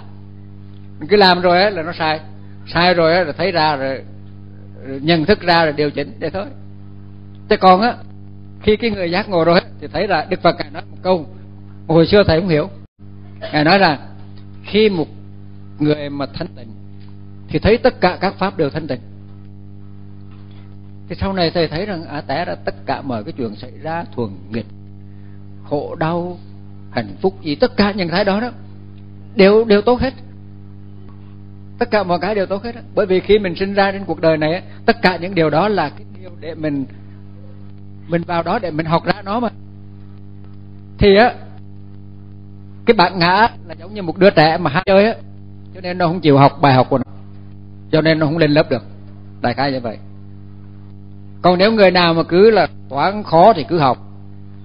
À, văn khó thì cứ học. Môn gì khó thì khó là mà trên đời này có bao nhiêu cái khó là mình cứ học bấy nhiêu. Mình tức là cũng phải là mình đi tìm nhưng mà cái, cái, cái bài mà nó đến với mình á ví dụ như cái, cái em lớp 1 á đi học thì đâu phải ai mà đưa bài tiến sĩ cho nó làm chí nó chỉ người ta chỉ đưa bài lớp 1 thôi. Mà nó không chịu học thì bây giờ lên lớp 2 cũng như trong cuộc đời của mình á cái gì đến với mình dù thuần dù nghịch á, điều đó phải học cái đó đi. Chứ đừng có cái bản ngã của mình cứ đi tìm cái cái mà mình muốn, chứ không phải là học cái bài học mà mà mà mà mà pháp ban cho. Thì cái này này, cái này là cái mà pháp ban cho này. Là nó ngang đây đó. Còn cái phản ứng của mình á, là nó ngang chỗ này này. Cái niềm tâm này này, chính là phản ứng. Đó, phản ứng đúng sai á, mà tạo ra phiền não khổ đau hay là niết bàn á, là là do phản ứng. Cho nên mấy thầy mới nói đó, không cần thay đổi trạng thái, không thể, không cần thay đổi điều kiện, mà là thay đổi cái phản ứng của mình đó là cái đó mới quan trọng. Tức là thầy hy vọng rằng là trong hai buổi là các vị đã bắt đầu nắm được vấn đề đó. Lần sau thầy sẽ phân tích kỹ hơn nữa, rõ ràng hơn nữa tức là mình đi sâu vào những cái cái mà xưa nay mình bị bị mù mờ trong đó. Bây giờ mình thấy nó ra rõ ra rồi cái thì thấy ra mọi chuyện rất là bình thường không có gì cả. Cứ cứ bình thường vậy mà sống thôi chứ không có gì hết trơn à, nhưng mà là biết biết học. Biết học biết sáng suốt định tĩnh trong lành để mà học ra. Mà sáng suốt định tĩnh trong lành có nghĩa là không làm gì cả. À, kỳ lạ đó khi thầy giảng về à, dục ái hữu ái và phi hữu ái thì à, con không phân biệt được à, à, trong cái trường hợp như con nói thì con không phân biệt được giả sử như thế này. Ừ, giả sử như từ nhỏ mình sinh ra được cha mẹ cho học hành xong rồi mình đi học à, thì học thì càng ngày càng à, coi như là mình biết công ơn cha mẹ do đó mình chịu khó mình học hành càng ngày càng giỏi càng tấn tới càng đi lên. À, là thành kỹ sư bác sĩ rồi tiến sĩ cái gì gì nói chung là tiến mãi à, trên cái con đường học vấn đó. Thì à, con cảm thấy là với giả sử như với một số những người là có những cái học vị thì họ họ họ tức là họ cố họ học để họ đạt được cái học vị đó. À, vì cái mục đích này vì mục đích nọ có thể là vì, vì có thể là vì ừ, vì danh có thể vì uh, tiền bạc. Thì con không hiểu là uh, với những cái những cái thành đạt đó như vậy của họ thì có xếp loại vào những cái ái này không ạ? À? có. Có nhưng mà thế này. Cái cái mà thầy trình bày ra đây là gần như là toàn bộ vấn đề của chúng của của của con người đó tức là thật ra nếu mình có một cái nhìn tổng quát thì đây là toàn bộ vấn đề của con người rồi đó. Thế thì nói thế này nếu như mình chưa thấy được cái bản chất thật niềm thân niềm thọ niềm tâm là để gì? Để thấy ra bản chất thật của pháp của của thân của thọ của tâm. À, thế thôi. Chứ còn á là cái cái cái cái, cái sự kiện thực tế là thế này sợ gì anh chưa sáng suốt định tĩnh trong lành được cho nên anh mới có dục ái hữu ái phi hữu ái. Cho nên dục ái hữu ái phi hữu ái cũng là chuyện tự nhiên. Nhưng mà hôm nay chúng ta ở đấy đó là chúng ta là có cái duyên à, để mình phân tích tất cả mọi vấn đề. Đó, mình phân tích vấn đề để mình thấy ra mọi cái khía cạnh thôi. Chứ còn á bây giờ cái người đó chưa sáng suốt định tĩnh trong lành được thì người đó vẫn cứ dục ái, hữu ái, phi hữu ái thôi. Nhưng mà nhưng mà nó đã là, nó gần như là đã hoàn chỉnh rồi. Hoàn chỉnh là vì sao? Vì nếu anh dục ái, thì anh sẽ bị bị hình khổ. Thì cái khổ này này, sẽ dạy cho anh thấy ra được á, là dục ái là sai. Nếu anh dục ái anh tham. Rồi anh làm anh làm một hồi á mới đau khổ, hoài khổ à, ngoài khổ rồi anh mới là thấy đó là khổ mới là sai à, rồi cứ tham sân si như vậy một một ngày kia đó anh sẽ thấy rằng là tham sân si nó chặt ở đâu hết. Dù là tham sân si dưới hình thức hình thức là ăn trộm ăn cướp hay là hình thức là vô trong núi mà vô trong cái hang động mà mà ngồi mà tu cho chết cũng là tham sân si thôi chứ không phải không phải có cái gì khác đó thì như vậy cuối cùng họ mới thấy rằng là ở tất cả những cái đó nó không không có nghĩa gì cả. Thì lúc đó họ mới trở lại là trở lại với là tại đây và bây giờ. Và họ chỉ cần đây và bây giờ sáng suốt định tĩnh trong lành là đủ. Đó. Tất nhiên là nó phải có cái quá trình đó. Nhưng mà tức cười là thế này. Lẽ ra chỉ cần trở lại với cái này thôi á, là mình học ra được rồi. Nhưng mà không phải là ai cũng cũng làm như vậy được. Khi mà khi mà thầy nói cái điều này đó, thì ở đây có người là chấp nhận. Chấp nhận ngay lập tức. Và họ làm được liền. Cũng có người á, suy ly nghĩ lại. Cũng có người á, thì là cười. Đó, ông này ông nói tầm bậy. Nói như vậy rồi làm xã hội tiến hóa được. Ông này là cái ông cản trở tiến hóa của xã hội này. Ông biểu là buông ra hết trơn á, đừng có bản ngã làm gì hết á. Thì làm sao mà xã hội mà lại là tiến tiến lên là càng ngày càng là lên được. Thí dụ như vậy à, cái đó là không sao hết trơn cũng được. À, ai nghĩ sao đó? Ai nghĩ sao cứ làm đấy. Nhưng mà làm rồi á thì nó đều vào cái lập cái cái cái cái cái định luật cái nguyên lý của nó hết á. Thành á thầy trình bày cái này á là thầy trình bày cái nguyên lý vận hành của trời đất rồi. Tức là luân hồi sinh tử á, là do đâu? Mà niết bàn giải thoát là do đâu? Là mình đã nói hết tất cả rồi. Thế giờ tùy theo trình độ của mỗi người. Người nào thấy được á bởi vì nhận ra tất cả đây là đủ rồi. Ra là không còn bạn ngã gì nữa mà hoàn toàn sáng suốt định tĩnh trong lành. Bởi vì sao? Bởi vì nó đã đầy đủ hết rồi. Chỉ có nhận ra hay không nhận ra thôi chứ không phải là mình tạo tác để mà trở thành. Sau này thầy sẽ sau này là bài học tới rồi thầy sẽ nói là cái, cái tạo tác để trở thành nó sai như thế nào. Cho dù mình cố gắng mình lên trên núi, mình mình tu cực khổ bao nhiêu đi nữa, cũng chỉ là tạo tác để trở thành thôi. Và như vậy là nó cũng chỉ là luân hồi sinh tử. Thưa thầy, con con muốn hỏi thầy một cái ý kiến là ừ, khi mà con nghe thầy giảng về những cái dục ái, hữu ái với phi, hữu ái đó, thì tức là con cũng cảm nhận được hết tất cả những điều đó. Chính như trong cuộc sống thì con cũng cảm nhận được sự kỳ diệu của pháp. Nó xảy ra đúng với những cái hoàn cảnh của mình. Con cũng hiểu được cái điều đấy. Cũng như ngày hôm nay thì con đọc trong cái mục pháp thoại hỏi đáp á, con cũng rất là tâm đắc với cái câu trả lời của thầy cho một cái chị mà nói là sanh con mà lựa tháng nào, năm nào tốt để sanh thì con cũng cảm thấy rất là thỏa mãn với cái lời trả lời đó nhưng mà con có một cái thắc mắc là ví dụ như chúng con là những người làm công việc, ví dụ như là kinh doanh hoặc là làm những công việc mà đòi hỏi là phải có, nếu mà kinh doanh thì đòi hỏi là phải có sự tính toán, phải có tham vọng, rồi bắt đầu từ đó mới đặt ra những các cái mục tiêu, rồi các cái kế hoạch để mà đạt được những cái điều đấy.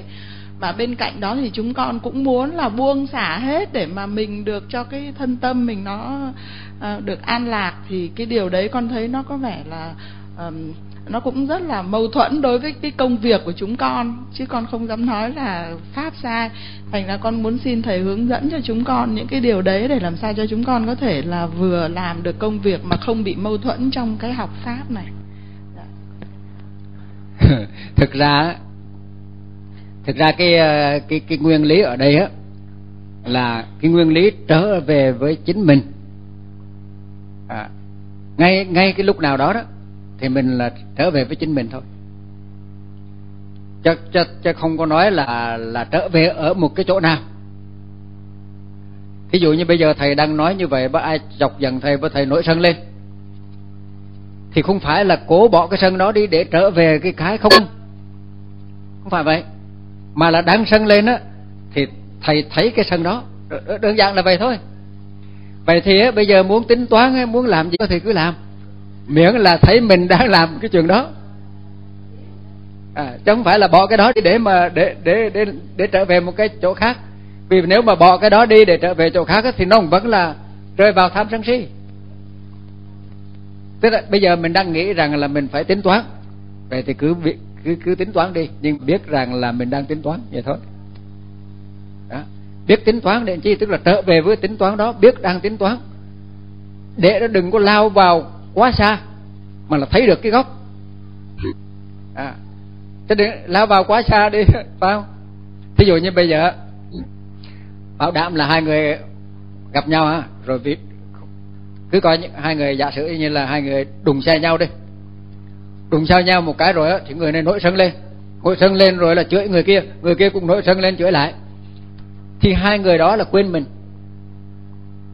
Hoàn toàn là bây giờ là chỉ coi thì cái mặt người đó để đâu mà để đấm vô thôi. Chứ còn chứ còn không biết mình là cái gì nữa. À, phải không? Nhưng mà bây giờ giả sử như hai người này này mà biết nhìn lại để thấy cái cơn sân của mình như thế nào thì bảo đảm là cái chuyện này sẽ được giải quyết. Còn hơn là cảnh sát tới giải quyết nữa. Nó sẽ giải quyết rất là tốt đẹp. Đó.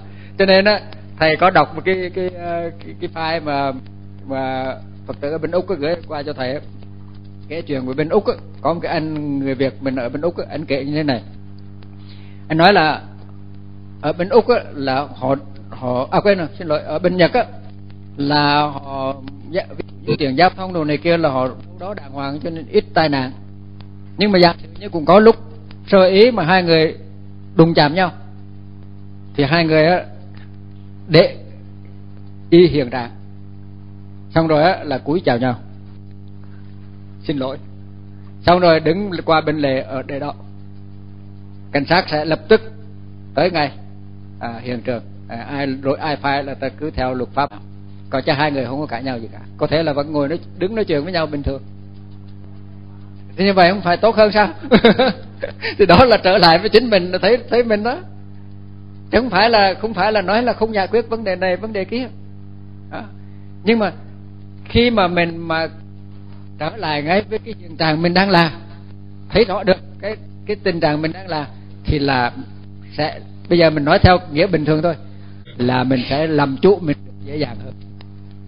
Cho mình nó là cứ là, cứ hơn thua hơn thua rồi cãi nhau và cãi nhau á, là nó cứ bị lôi cuốn vô trong đó. Hôm hôm qua thầy đến à, tây tăng này, một cái nhà phật tử, thầy có đặt một câu hỏi cho phật tử, thầy nói là đố các phật tử thế nào gọi là là phóng dật, dễ vui phóng dật. Thì thì có người nói là dễ vui phóng dật tức là lười biếng đó không phải đâu. Đôi lúc lười biếng tốt cũng có. Ví dụ như bạn bè mà mà rủ đi chứ, đi ăn chơi đồ lung tung hết trơn mà mình lười biếng thì tốt biết mấy. Cho nên không phải là lười biếng, mà đôi lúc á là là là quá nhiệt tình quá quá quá hăng say đó là phóng dật à, thí dụ như thế này. Thầy mới định nghĩa lại định phóng dật là thế này. Phóng dật là chạy theo cái tham vọng hay là cái ý đồ của bạn ngã. Quý, quý, quý, quý vị nghe cho cho rõ ha rõ định nghĩa đó. Phóng dật hay là dễ vui đó tức là chạy theo cái ý đồ của bạn ngã. Vì trở lại với pháp thì là chạy theo cái ý đồ của bạn ngã à tức là bây giờ lấy lại cái ví dụ hồi nãy là hai chiếc hai chiếc người mà tông xe này. Là cái bạn ngã khởi lên, rồi thì cứ là nhà người kia mà mà chơi mắng là đánh, là cứ giành phần thắng về mình. Thì như vậy gọi là chạy theo ý đồ của bạn ngã còn nếu mà trở về để mà nhìn lại cái tâm của mình lúc đó như thế nào, cái thân của mình lúc đó như thế nào, người nào cũng trở về như đó thì đâu còn hai người mà đánh nhau với cãi nhau nữa. Thì lúc đó là người nào cũng là thấy ra được cái cái tình trạng của mình lúc đó đó thì cái tự nhiên nó sẽ lắng dịu. À, bởi vì lúc đó thấy cái cái tim mình nó đập mạnh quá đi. À, rồi mình nổi nóng lên người mình nó cảm giác của mình nó nóng bừng lên. À, thì những cái đó có thể là rất dễ rơi vào bị huyết áp cao. Có thể bị tai biến. À, mà thai biến không huyết áp cao nữa thì đánh nhau cũng là thế nào cũng người thì sức răng người thì là chạy, chạy máu mũi đó. Chứ còn nếu như mà trở mà nhìn lại mình đó thì sẽ lúc đó sẽ thấy mình đó tim mình đập mạnh này à, máu chảy nhanh này. Rồi thì là tâm mình đó là đang bực bội này à, nóng nảy này. Nếu mình thấy toàn bộ cái trạng thái đó đó tức là đang niềm thọ hoặc là đang niềm thân cái đó là gọi là niềm thân đó niềm thân niềm thọ đó. Và lúc đó cái tâm mình đó, đang đang nội thân đó, thì niềm niềm tâm. À thì như vậy á, là là mọi chuyện sẽ được rất là tốt đẹp. Kính thưa thầy con có một vấn đề xin thầy à, chỉ dạy.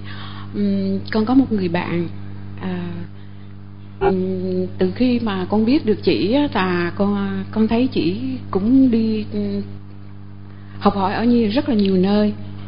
Thì à, cuối cùng thì chỉ cũng có học được một, cũng một vị thầy mà con nhận thấy là chỉ học cái pháp của vị thầy đó chính là cái pháp của thầy đang dạy đây. Vị thầy đó là, con nghe nói là thầy huyền tế ở bên nước ngoài. Nhưng mà con nhận thấy như thế này nè thầy, từ khi chỉ học được cái pháp đó, thì con thấy con thấy chỉ thay đổi kỳ lạ. Có nghĩa là chỉ không làm gì hết, chỉ cứ theo cái lời pháp như thế này, không làm gì hết. Và đến khi luôn cả những cái cái vấn đề, ví dụ như có người ừ, kêu gọi chỉ đi làm phước, hoặc là làm một cái điều đó thật là tốt đẹp thì chỉ đều cho là sự tìm cầu. Không nên. Và con thấy chỉ uh, có thể là lúc chỉ lại ăn nhậu. Ăn nhậu. Ăn nhậu à. và vui chơi. Mà con nhìn thấy là một cái sự chạy theo bản ngã rõ ràng. Và con cũng nhìn thấy cái sân và cái cái cái cái cái dậy lên cái bản ngã của chị đó nhưng tất cả những điều đó chị ấy cứ xem đó là sự buông xả. Tự nhiên thì con không hiểu rằng chỉ học cái pháp này chỉ hiểu như thế nào thưa thầy? Cái này ra thì uh, trong cái uh, mấy cái buổi tới đó thì thầy sẽ nói rất rõ. Tại vì đây là thầy mới nói từ từ tức là gỡ từ từ đó. Ban đầu mình thầy giới thiệu thực tài. Bây giờ thầy đang phân tích cái thực tài nó ra hướng nào hướng nào rồi mai mốt là thầy sẽ chỉ rõ rất rõ tu, tu tập như thế nào. À. nhưng mà có một điều rất khác bởi vì thế này. Cái, cái, để, để giới thiệu chung cho cho biết pháp của thầy là tùy duyên thuần pháp vô ngã vì tha.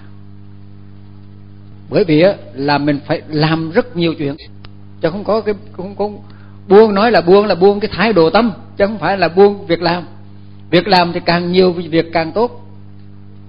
Đó, càng nhiều việc mà làm được lợi ích cho nhiều người chừng nào thì càng tốt chứ đó. À, cho nên nó là cái hành động vô ngã vị tha. Thay vì á thay vì ví dụ như mình không làm việc gì mình đi quét nhà quét sân để cho người khác sạch á. Thay vì không làm việc gì thì mình nấu ăn cho người ta ăn.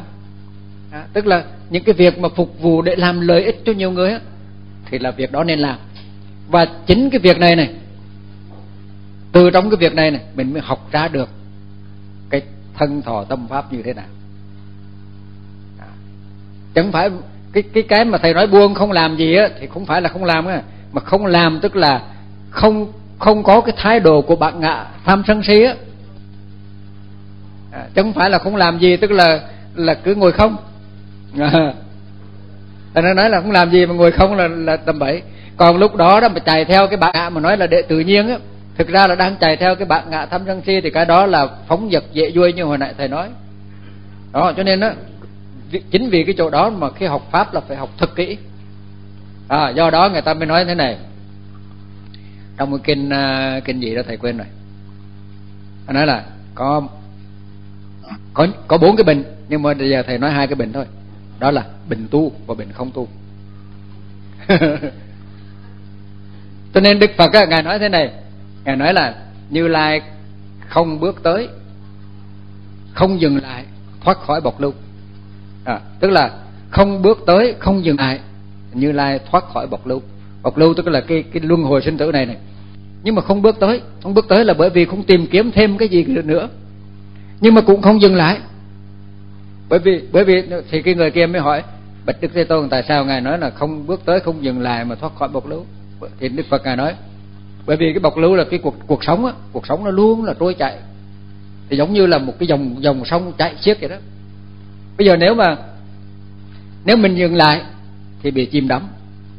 Mà nếu mình bước tới thì bị cuốn trôi. Đó. cho nên á như lai không bước tới không dừng lại mà thoát khỏi bọc lưu. Đó. cho nên á nếu người nào mà nói, mà nói là dừng lại là sai. Bởi vì pháp là nó trôi chạy làm sao mà dừng lại được? Cái mà không không làm đó tức là không bước tới mà cũng không làm không dừng lại đó là không làm. Nhưng mà không làm đây là không làm của cái thái độ bạc ngã. Nhưng mà sống thuần pháp thuần pháp cho nên là pháp đến như thế nào thì mình phải làm như vậy.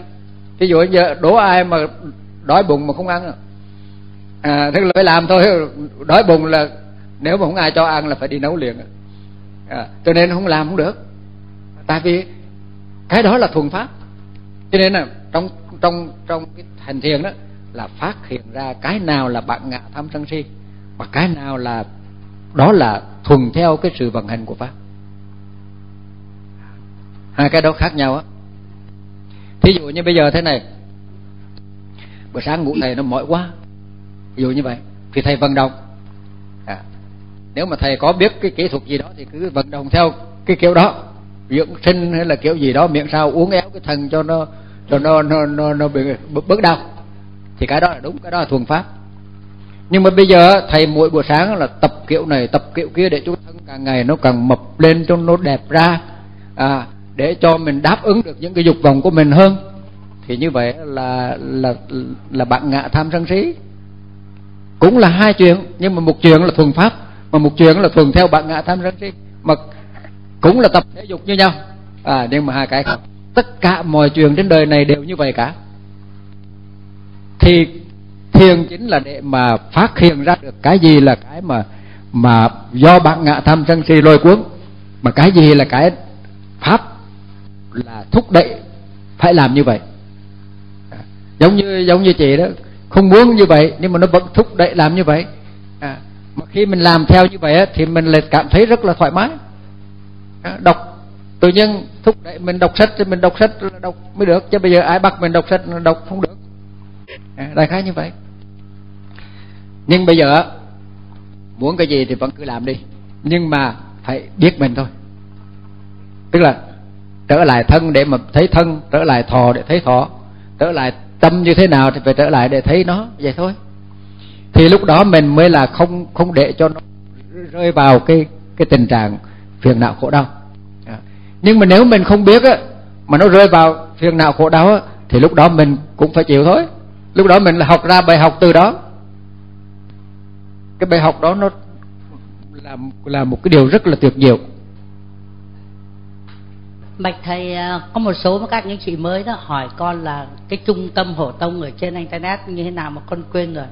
Con xin thầy hoan hỉ viết trên bảng cho các anh chị biết. Và xin thưa là quý anh, quý chị, nếu mà bây giờ thì đa số là chúng ta đều biết internet và đều sử dụng nó hết. À, quý vị muốn hiểu rõ về những pháp mà thầy giảng đó, là xem qua đó. Nhất là những câu hỏi của các anh các chị nghe từng trải và những câu trả lời của thầy. Thì mình hiểu rõ. Đó web website đó. Thì trong cái website này thì thầy thầy ờ, hướng hướng dẫn tu tập à có nhiều thì, thì, thì cứ vô đó khám phá nhưng mà có cái hai trang đó là cái trang hỏi đáp. Hỏi đáp là một với là một cái trang thư viện. Có đôi lúc là cái trang góc thư giãn. Có cái trang góc thư giãn là cái, cái chia sẻ những cái bài viết của, của người khác của nhiều người. Còn trong thư viện á sách thiền sách gì cũng có trong. Mà là nhất là mấy cái thư á. Mấy cái thư là bởi vì á cái chuyện gì mà ngắn ngắn thì thầy trả lời bên ờ, hỏi đáp. Còn nếu như có người họ hỏi nhưng mà cái, cái chuyện nó nó phải trả lời dài thì thầy trả lời bên cái thư. Tức là đưa đưa cái cái cái cái cái đó thành qua cái thư. Và và trả lời cái thư gọi là thư thầy học. Còn sách thì trong đó sách thiền rồi nhiều lắm. Mà trang web của thầy thì nó không có không có không có nhiều tại vì nói chung là cũng chọn lọc chứ không có thực ra là mình chỉ muốn cống hiến cái gì lợi ích thực sự cho phật tử thôi. Cho nên là không có đưa vô nhiều. Thôi bây giờ hết giờ rồi. Y đằng nô nhang ti năng hôn tu sukhita hôn tu nha ta yo y đằng nô nha ti nàng hôn tu sukhita hôn tu nha ta vô y đàng nô nha ti nàng hôn tu sukhita hôn tu nha ta yo. Rồi xin chào xin uh, hẹn lại tuần sau.